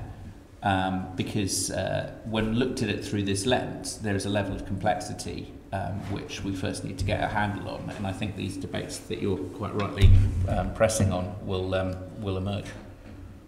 Just, uh, I mean, I that kind of comes back to the sort of how do you, I mean, that relationship between um, independent companies innovating and the public sector. Um, you know, how do you get the best innovation um, it, technologically while kind of protecting the sort of public interest? Well, there's okay. There are there are two things. One is data is not held or stored or shared in a consistent way across um, our public estates, private estates, um, uh, across public services. So I think the debate around common standards is um, is a growing one, and there's a real move towards creating much more common understood standards in data sharing. Um, in particular, I, I think this will this could play out in in, in the following way. Um, the London Plan is a vehicle for uh, new development. Um, what if uh, there was a smart proposition um, in in our development frameworks or uh, and then we can develop further guidance on, on those standards so that with the significant amount of building that's going to go on in the city and regeneration, especially around transport hubs, that we could actually have something that was common uh, that we decided uh, as Londoners um, so that we didn't have developments with technology that was creating information that was either um, not secure or not properly shareable for the public or, or commercial benefit. Um, I think that's a really, really important point, and I think that's something that will be, I'm sure that will be something that will be explored in greater detail um, in the uh, in the Smart London plan. Thank you very much. Um, Susan, can I hand over to you? Yes, thank you. Um, what is your understanding of a smart city? And can you give us some tangible examples of what it might look like? Okay, um, I think the smart city uh, has uh, is a city that, first of all, has some clear objectives about how it wants to use technology. And the example I, or the, the sort of story I give here is discussing something with the chief executive about digital is a noun or digital is an ad- adjective. And quite often with technology, we've just looked at things as tools. Um, but digital is an adjective allows you to do things faster, be more adaptable, and share more information. Um, a smart city is something which has that at its core. It realizes that there are um, there are tools by which you can gather more information in order to make better decisions, whether through AI, human judgment, augmenting professionals in order to do things. A smart city allows you to plan better. An area like uh, a city like London with its tremendous growth enables us to plan school places, it enables us to plan traffic flows, it may, enables us to do better development um, for the benefit of Londoners. So fundamentally, a smart city is something that's able to be a data-driven uh, city with uh, enough people uh, uh, able to you know plan for the needs of needs of Londoners. I don't think there's any city in the world that has um, become a truly smart city, and partly this is the challenge of retrofit because you've got uh, new developments coming along and then you need to go into uh, look at old districts uh, and see what their needs are and, and, and uh, them. Um, but if you look at the leading smart cities, those are the ones that are going down the road of common standards. They're saying that technology should be, uh, the, the way in which uh, data is shared should be uh, agreed upon, uh, and uh, there should be more data sharing uh, between the various technologies that you, you do use. In London, I think it's very clear from the mayoral strategies that there are that there are things that technology is required to do to help Londoners now. That's our fight against poor air quality, and as I mentioned before, infrastructure planning. Uh, on the issue of poor uh, air quality, we don't have a uh, we, we have a growing data set there, but we've just announced a, uh, a tie-up with the Alan Turing uh, Institute to enable greater data sharing between the increasing number of data collection points. The more data we have, the better judgment we're able to give on things. Uh, and I think that's really, really important um, first step. So all of these things will have a practical a- application. They're not just words and, and phrases and things like that. All of these things must have a practical application to benefit London.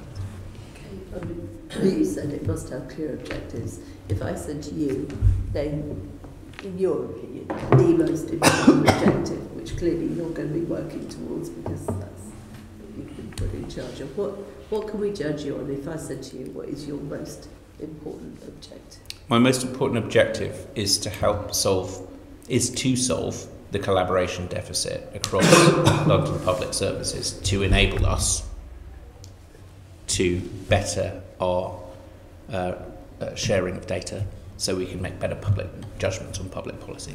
Okay, thank you, that's clear. Um, how will you work to ensure that new disruptive technologies benefit society?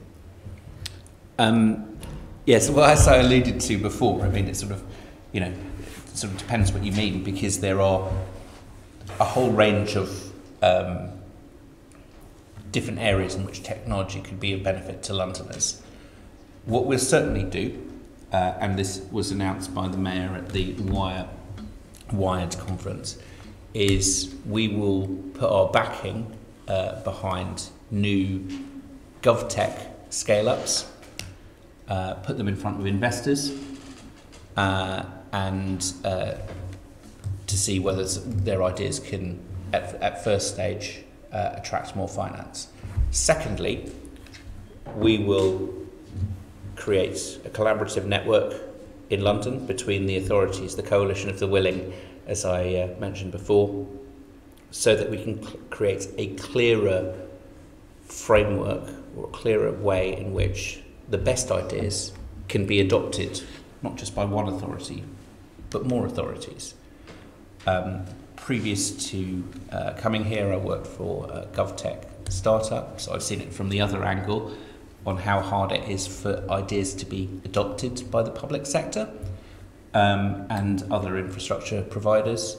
And I think that's one of the key challenges of this role and how we create a much more common playing field so that the best ideas created by the tech community can be adopted by the public sector. Will you um, almost have a sort of like a risk register within your department, as in we bring in a massive new technology to this industry or this, this service, what sort of an impact that will have on those already, I mean, you mentioned Uber and black cabs as, as a very rough example. You know, if you bring massive technology into one aspect, will there be people that um, will, or businesses that will suffer from that? Do you do you acknowledge that, and do you are you going to be keeping an eye on that? Well, I think I mean when I was uh, at uh, when I was at Camden before I, uh, I, I I got the job here, um, I was a big proponent of what I, I kind of dubbed an a- active digital policy, which was keeping an eye, not seeing digital just in terms of service transformation, um, you know, put things online and forget about the impact. We needed to make sure that uh, we had a much wider view of the changes that were going on in society, and so that's why I think investment in skills is extremely important uh, during this period. The Mayor's outlined a £7 million digital talent programme, which is a model which is actually being looked at by other combined authorities, I know, uh, at the moment. Um, support for things like teacher training or for, for the next generation of computing teachers, linking them up with the university. So we make sure we've got skills flow right from an early age onwards is fundamental. So government can't um, can't uh, promote on the one hand uh, disruptive technologies without looking at sort of human pipeline and making sure we've got the skills ready for the future. There's there's a there's a lot more work to be done in this area, but I think there's a, before I came there was a very very good, good start being made here on this. Thank you. I bring Andrew in now on your Um, priorities yes. and delivery. What, what resources have you got? Um, so I, I think my job comes in two phases. Um, one is the sort of institution building part, um, as I outlined in my three themes. Uh, the mayor said to me um, that uh, when, when I was uh, when I was appointed that I should just go out there and um, you know find set out the plan and find the challenges. So at the moment, uh, where I sit is on on the on the on the eighth floor, um, and I'm supported by the GLA. Um, I think it, as we move towards the the second phase uh, uh, down the road, if the case is made, um, then there'll be, you know, I think probably you know the case for more direct support um, as per what's happened in other major cities such as New York. So You're pretty well on your own at the moment. I don't feel on my own. I, I think it's a. Uh, I think the case with anything new, the case needs to be made about effectiveness. It's public money, and so what we need to do is make sure that. Um, I think uh, at the at, at the start, and we are in sort of strategy making season, aren't we? Um, so at the start, that things are aligned, and I think quite a lot can be done with you know not not a huge amount of investment at the start. I think it will become clear as London's challenges become clear where we need to reorder our investment, and I'm sure you know the committee will play a role in that. I think you, you said that the Smart London plan is going to come out next year. Um, yes? Yes, Yes. middle of next year Right, okay. And, and, and you're writing that, presumably? with the Smart London Board. Okay. And we've also got the London Office of Technology and Innovation. Where does that fit in? Yeah, so when I went through the um, my three themes, the digital foundations included the work by Future FutureGov, Arup, um, and Stance, and that is to test the proposition for a London Office for Technology and Innovation. Now, um, what an office is uh, is yet to be worked through. We're doing so sort of as we speak, um, but it certainly would be a function which um, would call on the resources not just of City Hall but of the boroughs because it's a joint operation uh, in order to do that. And what we would envisage is having uh, maybe a, a small number of expert staff uh, uh, given the time and capacity to bring uh, the boroughs and some of the other public services together in order to provide that kind of common platform so that some of the best ideas from the tech sector can be adopted. And all, all, the, all the boroughs signed up, or No, I think I think uh, um, oh, we're not at the stage of signing people up, but we are we are in the stage of identifying who, who the coalition of the willing and the able Yes. are, if you like. Yeah. Um, and I, I think if we start start small. Um, uh, with those people who are willing to commit the time and resource, and to a certain extent, it's more about time. It's like how how you take a, you know, a good service director or a CIO off their main work and maybe give one or two days to this function. Um, you know, that's kind of what we're we're looking at. Uh, I think I think even before the research showed that there are probably about ten or eleven boroughs who fit that description um, and uh, are really w- willing to experiment. I think it's interesting because across the country, pretty much, uh, you know, not, not one combined authority has a full coalition of the willing. And I, I think you'll see sort of intra-regional working on this agenda. I mean, there are there's a very very good growing group of technologists. Sorry. You talk.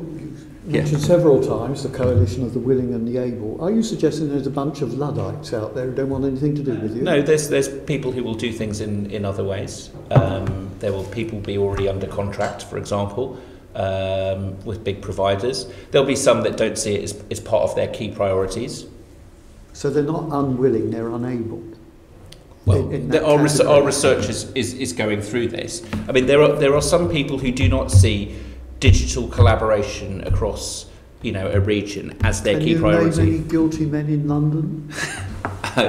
um, well, our research is going through. I mean, it's, the, the whole point is not to. It's, it's, this isn't. If I gave the impression of like sort of naming and shaming, it's not that. Because I think the the, the worst thing you could do in um, uh, if you were trying to create something which was which is a new institution for London is to sort of is to create some sort of league table. I think that that puts people's uh, sort of noses out of joint and doesn't get the intended result. I think if you started on a 32 borough basis, I think some some boroughs that are more um, down the road than others might feel that they're not able to innovate at the speed that they want to. So the challenge here is to create an institution which uh, provides uh, a, really solid foundation for those um, that um, want to progress at speed, and then makes it it easy for people to say yes, I want to be part of that. But it can only work if it proves effective. If you see what I mean. So. So that's the challenge of So this that's, institution. that, so that's really your job. Your job is as kind of missionary, isn't it? That you go out from here preaching the word, Uh, saying that this is a good thing. Because a lot of us, I speak as a, uh, as a Luddite, a lot of us thought this was a bit of a gimmick. Chief Digital, oh, that sounds a bit 21st century. Oh, but he's not really going to do anything. We're in the 21st century. Yeah, we, we, yeah. I, I, uh, for the record, yeah. So, um, um, if I I think you know this, this sort of goes in. I, I was a local councillor for 15 years, and so I experienced all sorts of ways in which um, uh, boroughs collaborated. And uh, I think it's probably, and I think whatever way you do, there's always going to be a criticism. If it's 30, if someone says we've got to do this on a 32 borough level, someone will say, well, how, how can you possibly do it that way? That's not the most effective vehicle for this.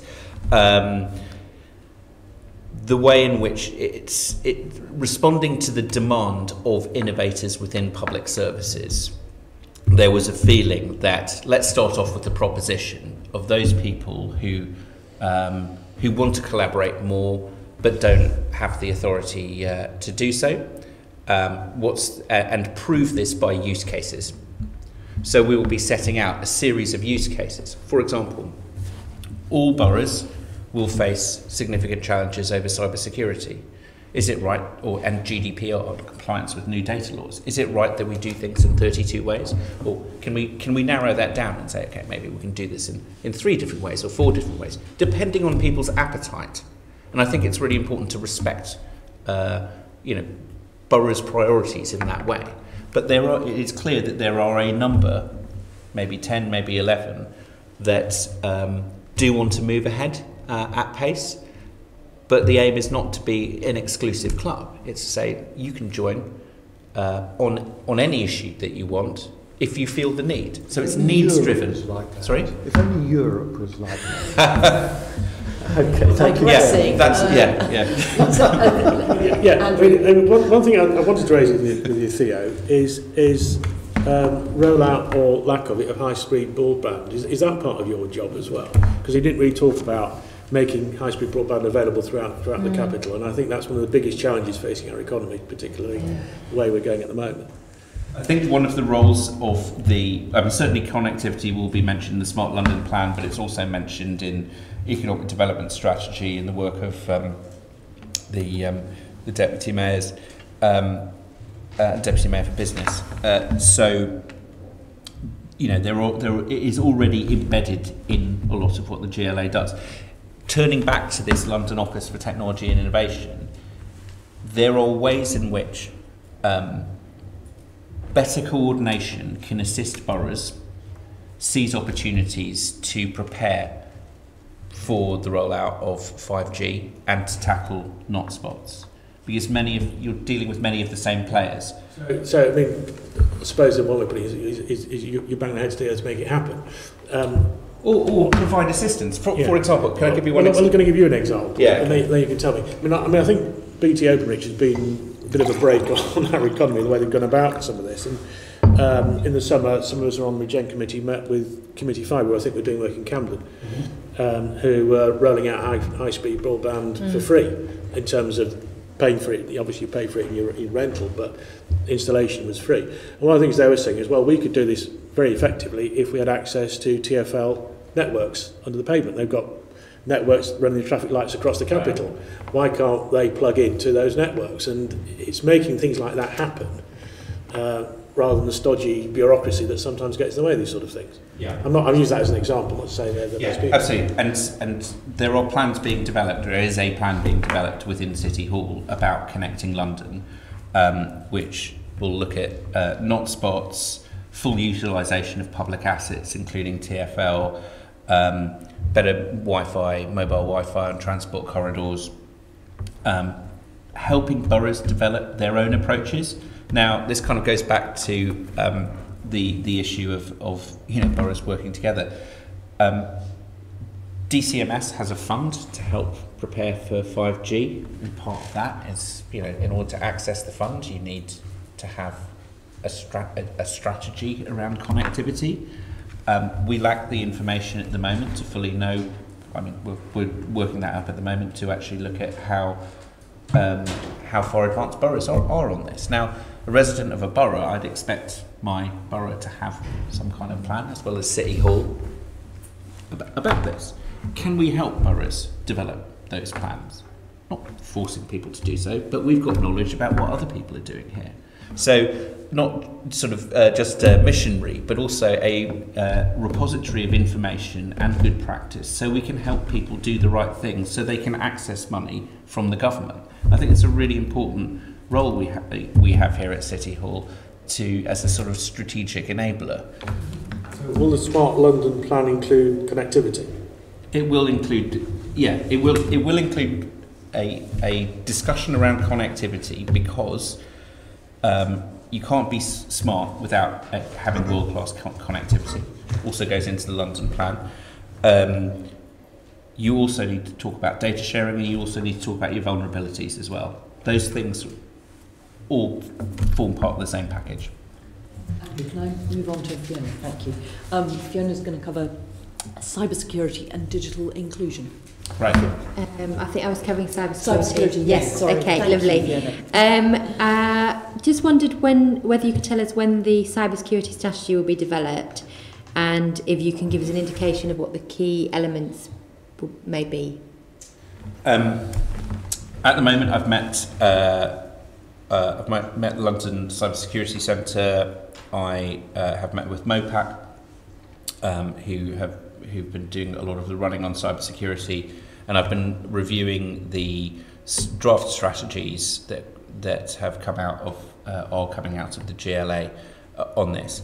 Cybersecurity has many elements. There is a sort of public health element to it, which is like what a, what risks uh, citizens um, uh, uh, exposing themselves to. There's a there's a business, small business element to it. Do people have the digital skills to protect their businesses from from these things? There's a public service angle, uh, as we saw with the WannaCry uh, virus uh, in the NHS, uh, that uh, and the challenge against public services. Denial of service attacks happen quite quite often on public services in London. We need to make sure that they're resilient. Um, and so, and that sort of leads me to the point. It's like identifying what does cybersecurity mean in all of its aspects? what are our vulnerabilities? And I think crucially, when you talk to cyber security experts or CIOs in public services, how quickly can you recover from an attack? Which is because I think being able to stop an attack against a dedicated uh, uh, uh, hacker uh, wanting to compromise your system is always going to be extremely difficult.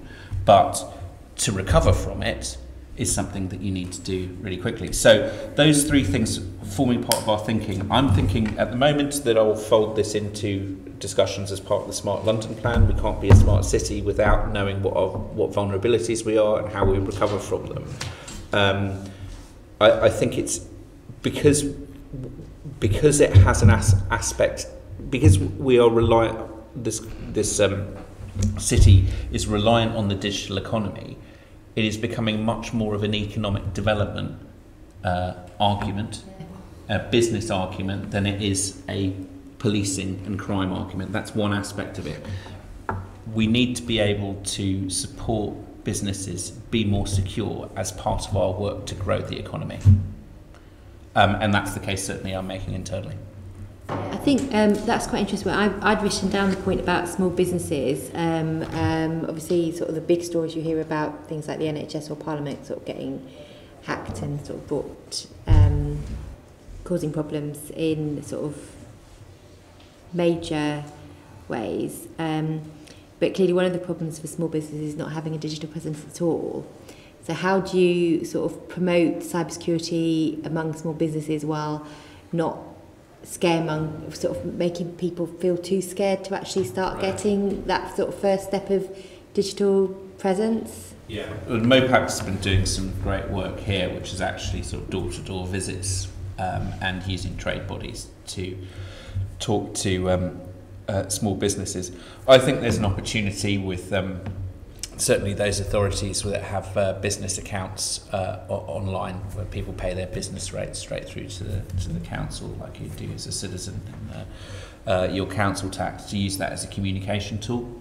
Um, um, I, I, I also think uh, we probably need to we, we need to know more information uh, about the digital skills of small businesses in London. Lloyds have just done a big piece of research on that which I'm going to meet with them on uh, and consider that. So all of this, I think, is wrapped up in work around the Smart London plan uh, as well.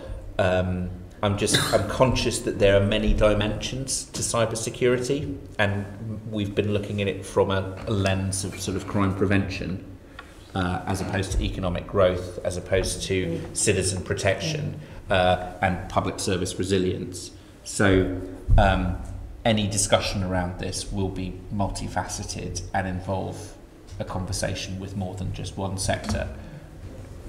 Interesting. And then how much of the issue remains around people using very basic, um, easily identifiable, repeated over every single thing they've got a password on? Um, and how much could it, how much of a difference would it make if people started taking passwords more seriously? I think that's. I think the increasing risk is is through. Um, I think the increasing risk is people clicking on links that they shouldn't be clicking on from sources that look reputable, mm-hmm. um, and you know there's some very very clever sort of phishing tactics out there. Um, you know something that looks like a bill from you know an online retailer. Looks looks totally credible, and people click, clicking on it um, can expose people's systems to all manner of pain. And um, I've been talking to people about what's called the DMARC standard on how we make sure that um, those kind of attacks can be limited. And that's a big challenge for the public sector too, because people trust, you know, things that come from the public sector. Yes, and I've got a couple of questions that I was supposed to be asking that I went off on tangents on, so I'll ask you these as well, if that's okay, Chair. Um, how will you work with, with, I mean, you've oh, mentioned working with local authorities. Um, so how will you make sure that the information they hold digitally about London is safe and secure? Um, I think authorities do a. I think there's a, there's probably a there's a gap in through cultural uh, and administrative reasons on how people use data in authorities. So data sharing um, and data governance uh, is becoming uh, an increasing part of how public services work. I see some of the um, leading authorities uh, not seeing IT just as sitting with the CIO or governance with the monitoring officer, but data actually sitting with uh, the executive director for people because it's essentially a data driven exercise. And leading authorities are, are uh, adopting approaches um, similar to uh, some private sector companies where, where technology and data is diffused responsibility across the board um, that runs the organisation, not just um, that's with the finance director who you know gets gets gets a paper from the chief information officer. Um, and so I think again, going back to building the digital foundations uh, of London, we need to show people how the best organisations that are going through digital transformation are dealing with these challenges on a governance level as well as on a technology level. Thank you. And how will we ensure that data's, that data that's being collected and used by the corporate sector is not used to the detriment of Londoners? Um, in what in what sense that uh, in the sense that obviously data mining is quite a big business and potentially people don't necessarily know what data they're giving. Yeah, I, I, there'll be there'll be some debates that are properly um, lawmaking debates for Westminster. Um, we have a role in, and there's an increasing uh, discussion around data ethics. Which we will no doubt have a lobbying and convening role from from the tech sector. Part of this will be, I think, the um, a big listening exercise with the Smart London plan, mm-hmm. and during that listening yeah. exercise, I anticipate people asking questions like this. But I see this role um, as city administration, mm-hmm. and I'll bring the experience of city administration and the use of data and how we deal with the private sector to bear in the national discussions that are that are starting in Westminster. Um, but as you know, we we don't have the powers to do so um, on a London-wide basis. Thank you. Um, we are due to finish in like three minutes. Are people okay if we overrun by about five or six minutes? Um, Andrew, I, I just wanted to come back to yeah, the, the point you're making about MOPAC and the Digital Security Centre and the door-to-door visits, because I went with Linda Digital sent around East Finchley a couple of weeks ago. Yes, I saw that on Twitter. Yeah, knocking, knocking on doors. And, and two or three things came over to me. Number one, when we were call, calling on professional organisations, solicitors and accountants so well, they were very well clued up in all that. Um, the smaller businesses, the traders and so forth, were not. And they were very pleased to see us and work with them and do the questionnaire and so forth. But what struck me more than anything was how little people actually knew about the risk, and more importantly, how few people knew about the digital security centre services. So, how can we? I mean, and we can't knock on every door in every high street because there's just too many. So um, how can we try and make sure that that availability of advice is spread more widely so people aren't taken by surprise when you turn up on their doorstep with a, with a, with me, a police officer, to prove you're genuine, and um, somebody from the Digital Security Centre. Well, absolutely. I mean, I sort of refer you to one of the ideas I heard from um, uh, a former colleague, as I sort of said, said before, was actually using the, bus- the normal business rates communication um, to to businesses with uh, mess advisory messages. I think there's a great role for um, business improvement districts who regu- who are a trusted source of regular communication through to businesses uh, in the area. Um, but both of those speak to my point that this it can't just be, you know, as it were, a, a policeman uh, turning up on the doorstep um, of a business, knocking on doors on we, we, we just won't get to those those levels of businesses. We need to see it as a crucial part of economic development here. So hence I've been pressing really hard for it to be part of our strategic outlook when we talk about thriving businesses and good growth uh, in uh, in this city. Um, the uh, as as sort of um, as alluded to, it's a complex area and we're beginning to get the evidence about what works. Um, there are obvious vulnerabilities that arise when you're going through a massive period of digital transformation and disruption, and it is and it's very much the role of, of government to make sure that people are safe and well advised here. It is not immediately clear um, until we, until we see it in its complexity what the most effective tools for doing that will be, but we need to work on it, and it's uh, it, it's um, really helped by the fact that it's in the manifesto. Um, final uh, questions on digital inclusion. Right. The GLA has signed up to the government's digital inclusion charter um, from last year.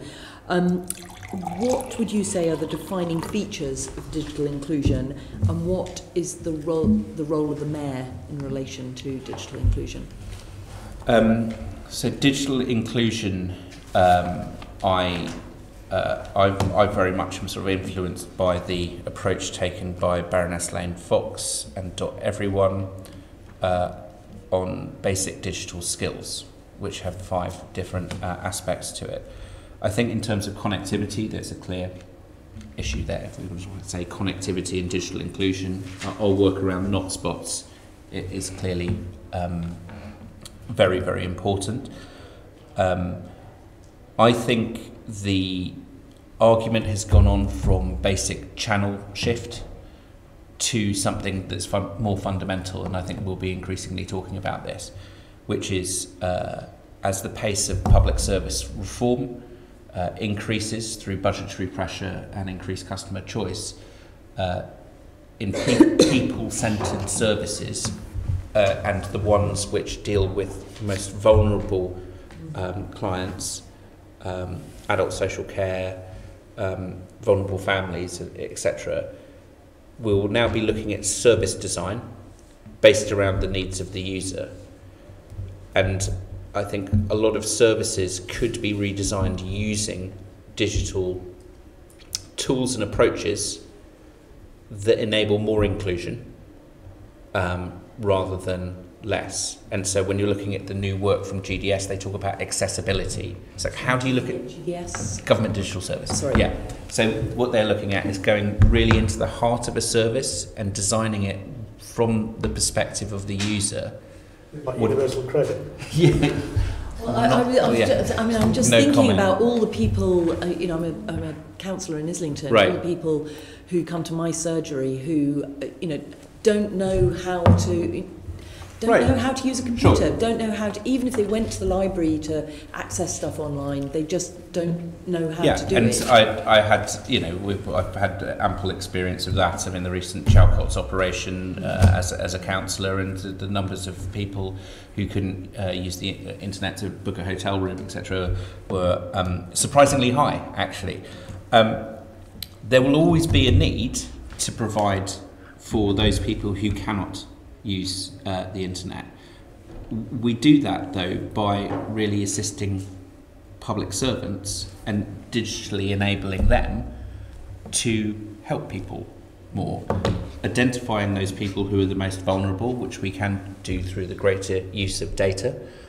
Um, liberating public servants from meetings, which are just the product of not having good data sharing and reporting.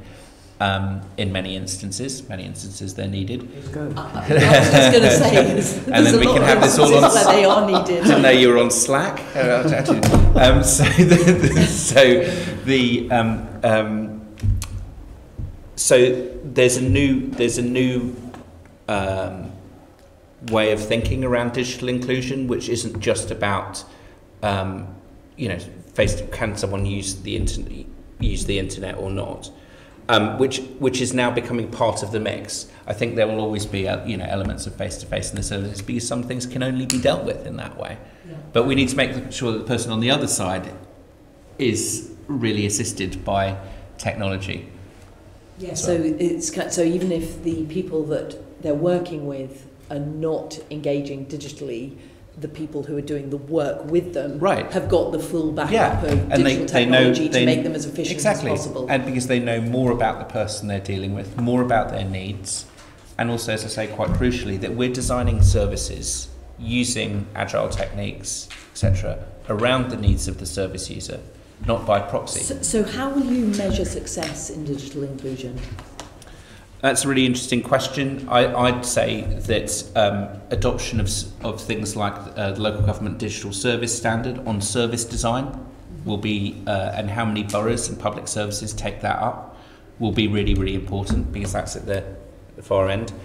Um, I also think that there are some uh, challenges uh, at a service service level with boroughs about how you upskill your workforce as well.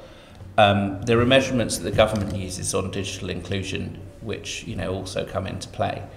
Um, but that in London, I think the figures show that the the numbers of people who are digitally excluded have diminished over the past decade um, and stand at near the lowest amount in the in the country.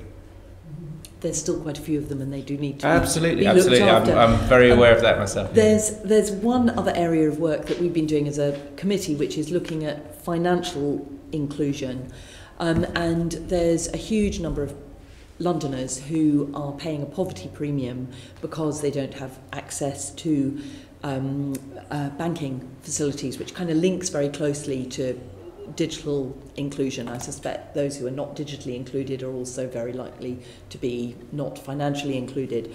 Um, I'm just wondering, is there going to be any element of financial inclusion within your work on the digital inclusion strategy? I don't. I don't think so because I think it will probably fall within the domain of uh, you know deputy mayors and um, and and ongoing work here. But the one thing I would say about that, if you go back to you know the digital skills that people have, I mean there there are people who are who have been digitally excluded who now lack necessary digital skills. And I think the debate slightly sort of shifted in that direction of like, are you using the internet effectively, as opposed to have you ever used it? Um, and some of the things that go from that is, well, what the, what's the most important thing for you to use the internet for? And if it's having a bank account, the ability to you know receive benefits um, uh, and uh, and things like that, that is a really important signifier in all of these things. And I think, as I say, the debate's moved more towards the effectiveness uh, area. Thank you very much. Uh, that was a whistle-stop tour of, um, of uh, the whole digital uh, picture, but um, No, I think uh, hugely um, interesting. Can I thank you um, for your contributions and can I ask the committee to note the report um, and the discussion with our invited guest? Noted. Noted. Thank you very much. And can I ask the committee to note the work programme and priorities for 2017-18, which are set out in the work programme report? Thank you. And can the committee note the next meeting is scheduled for Tuesday, the 12th, 12th of December at 10 o'clock in the chamber at, here at City Hall? There is no urgent business, and so that concludes the meeting. Thank you very much, everyone.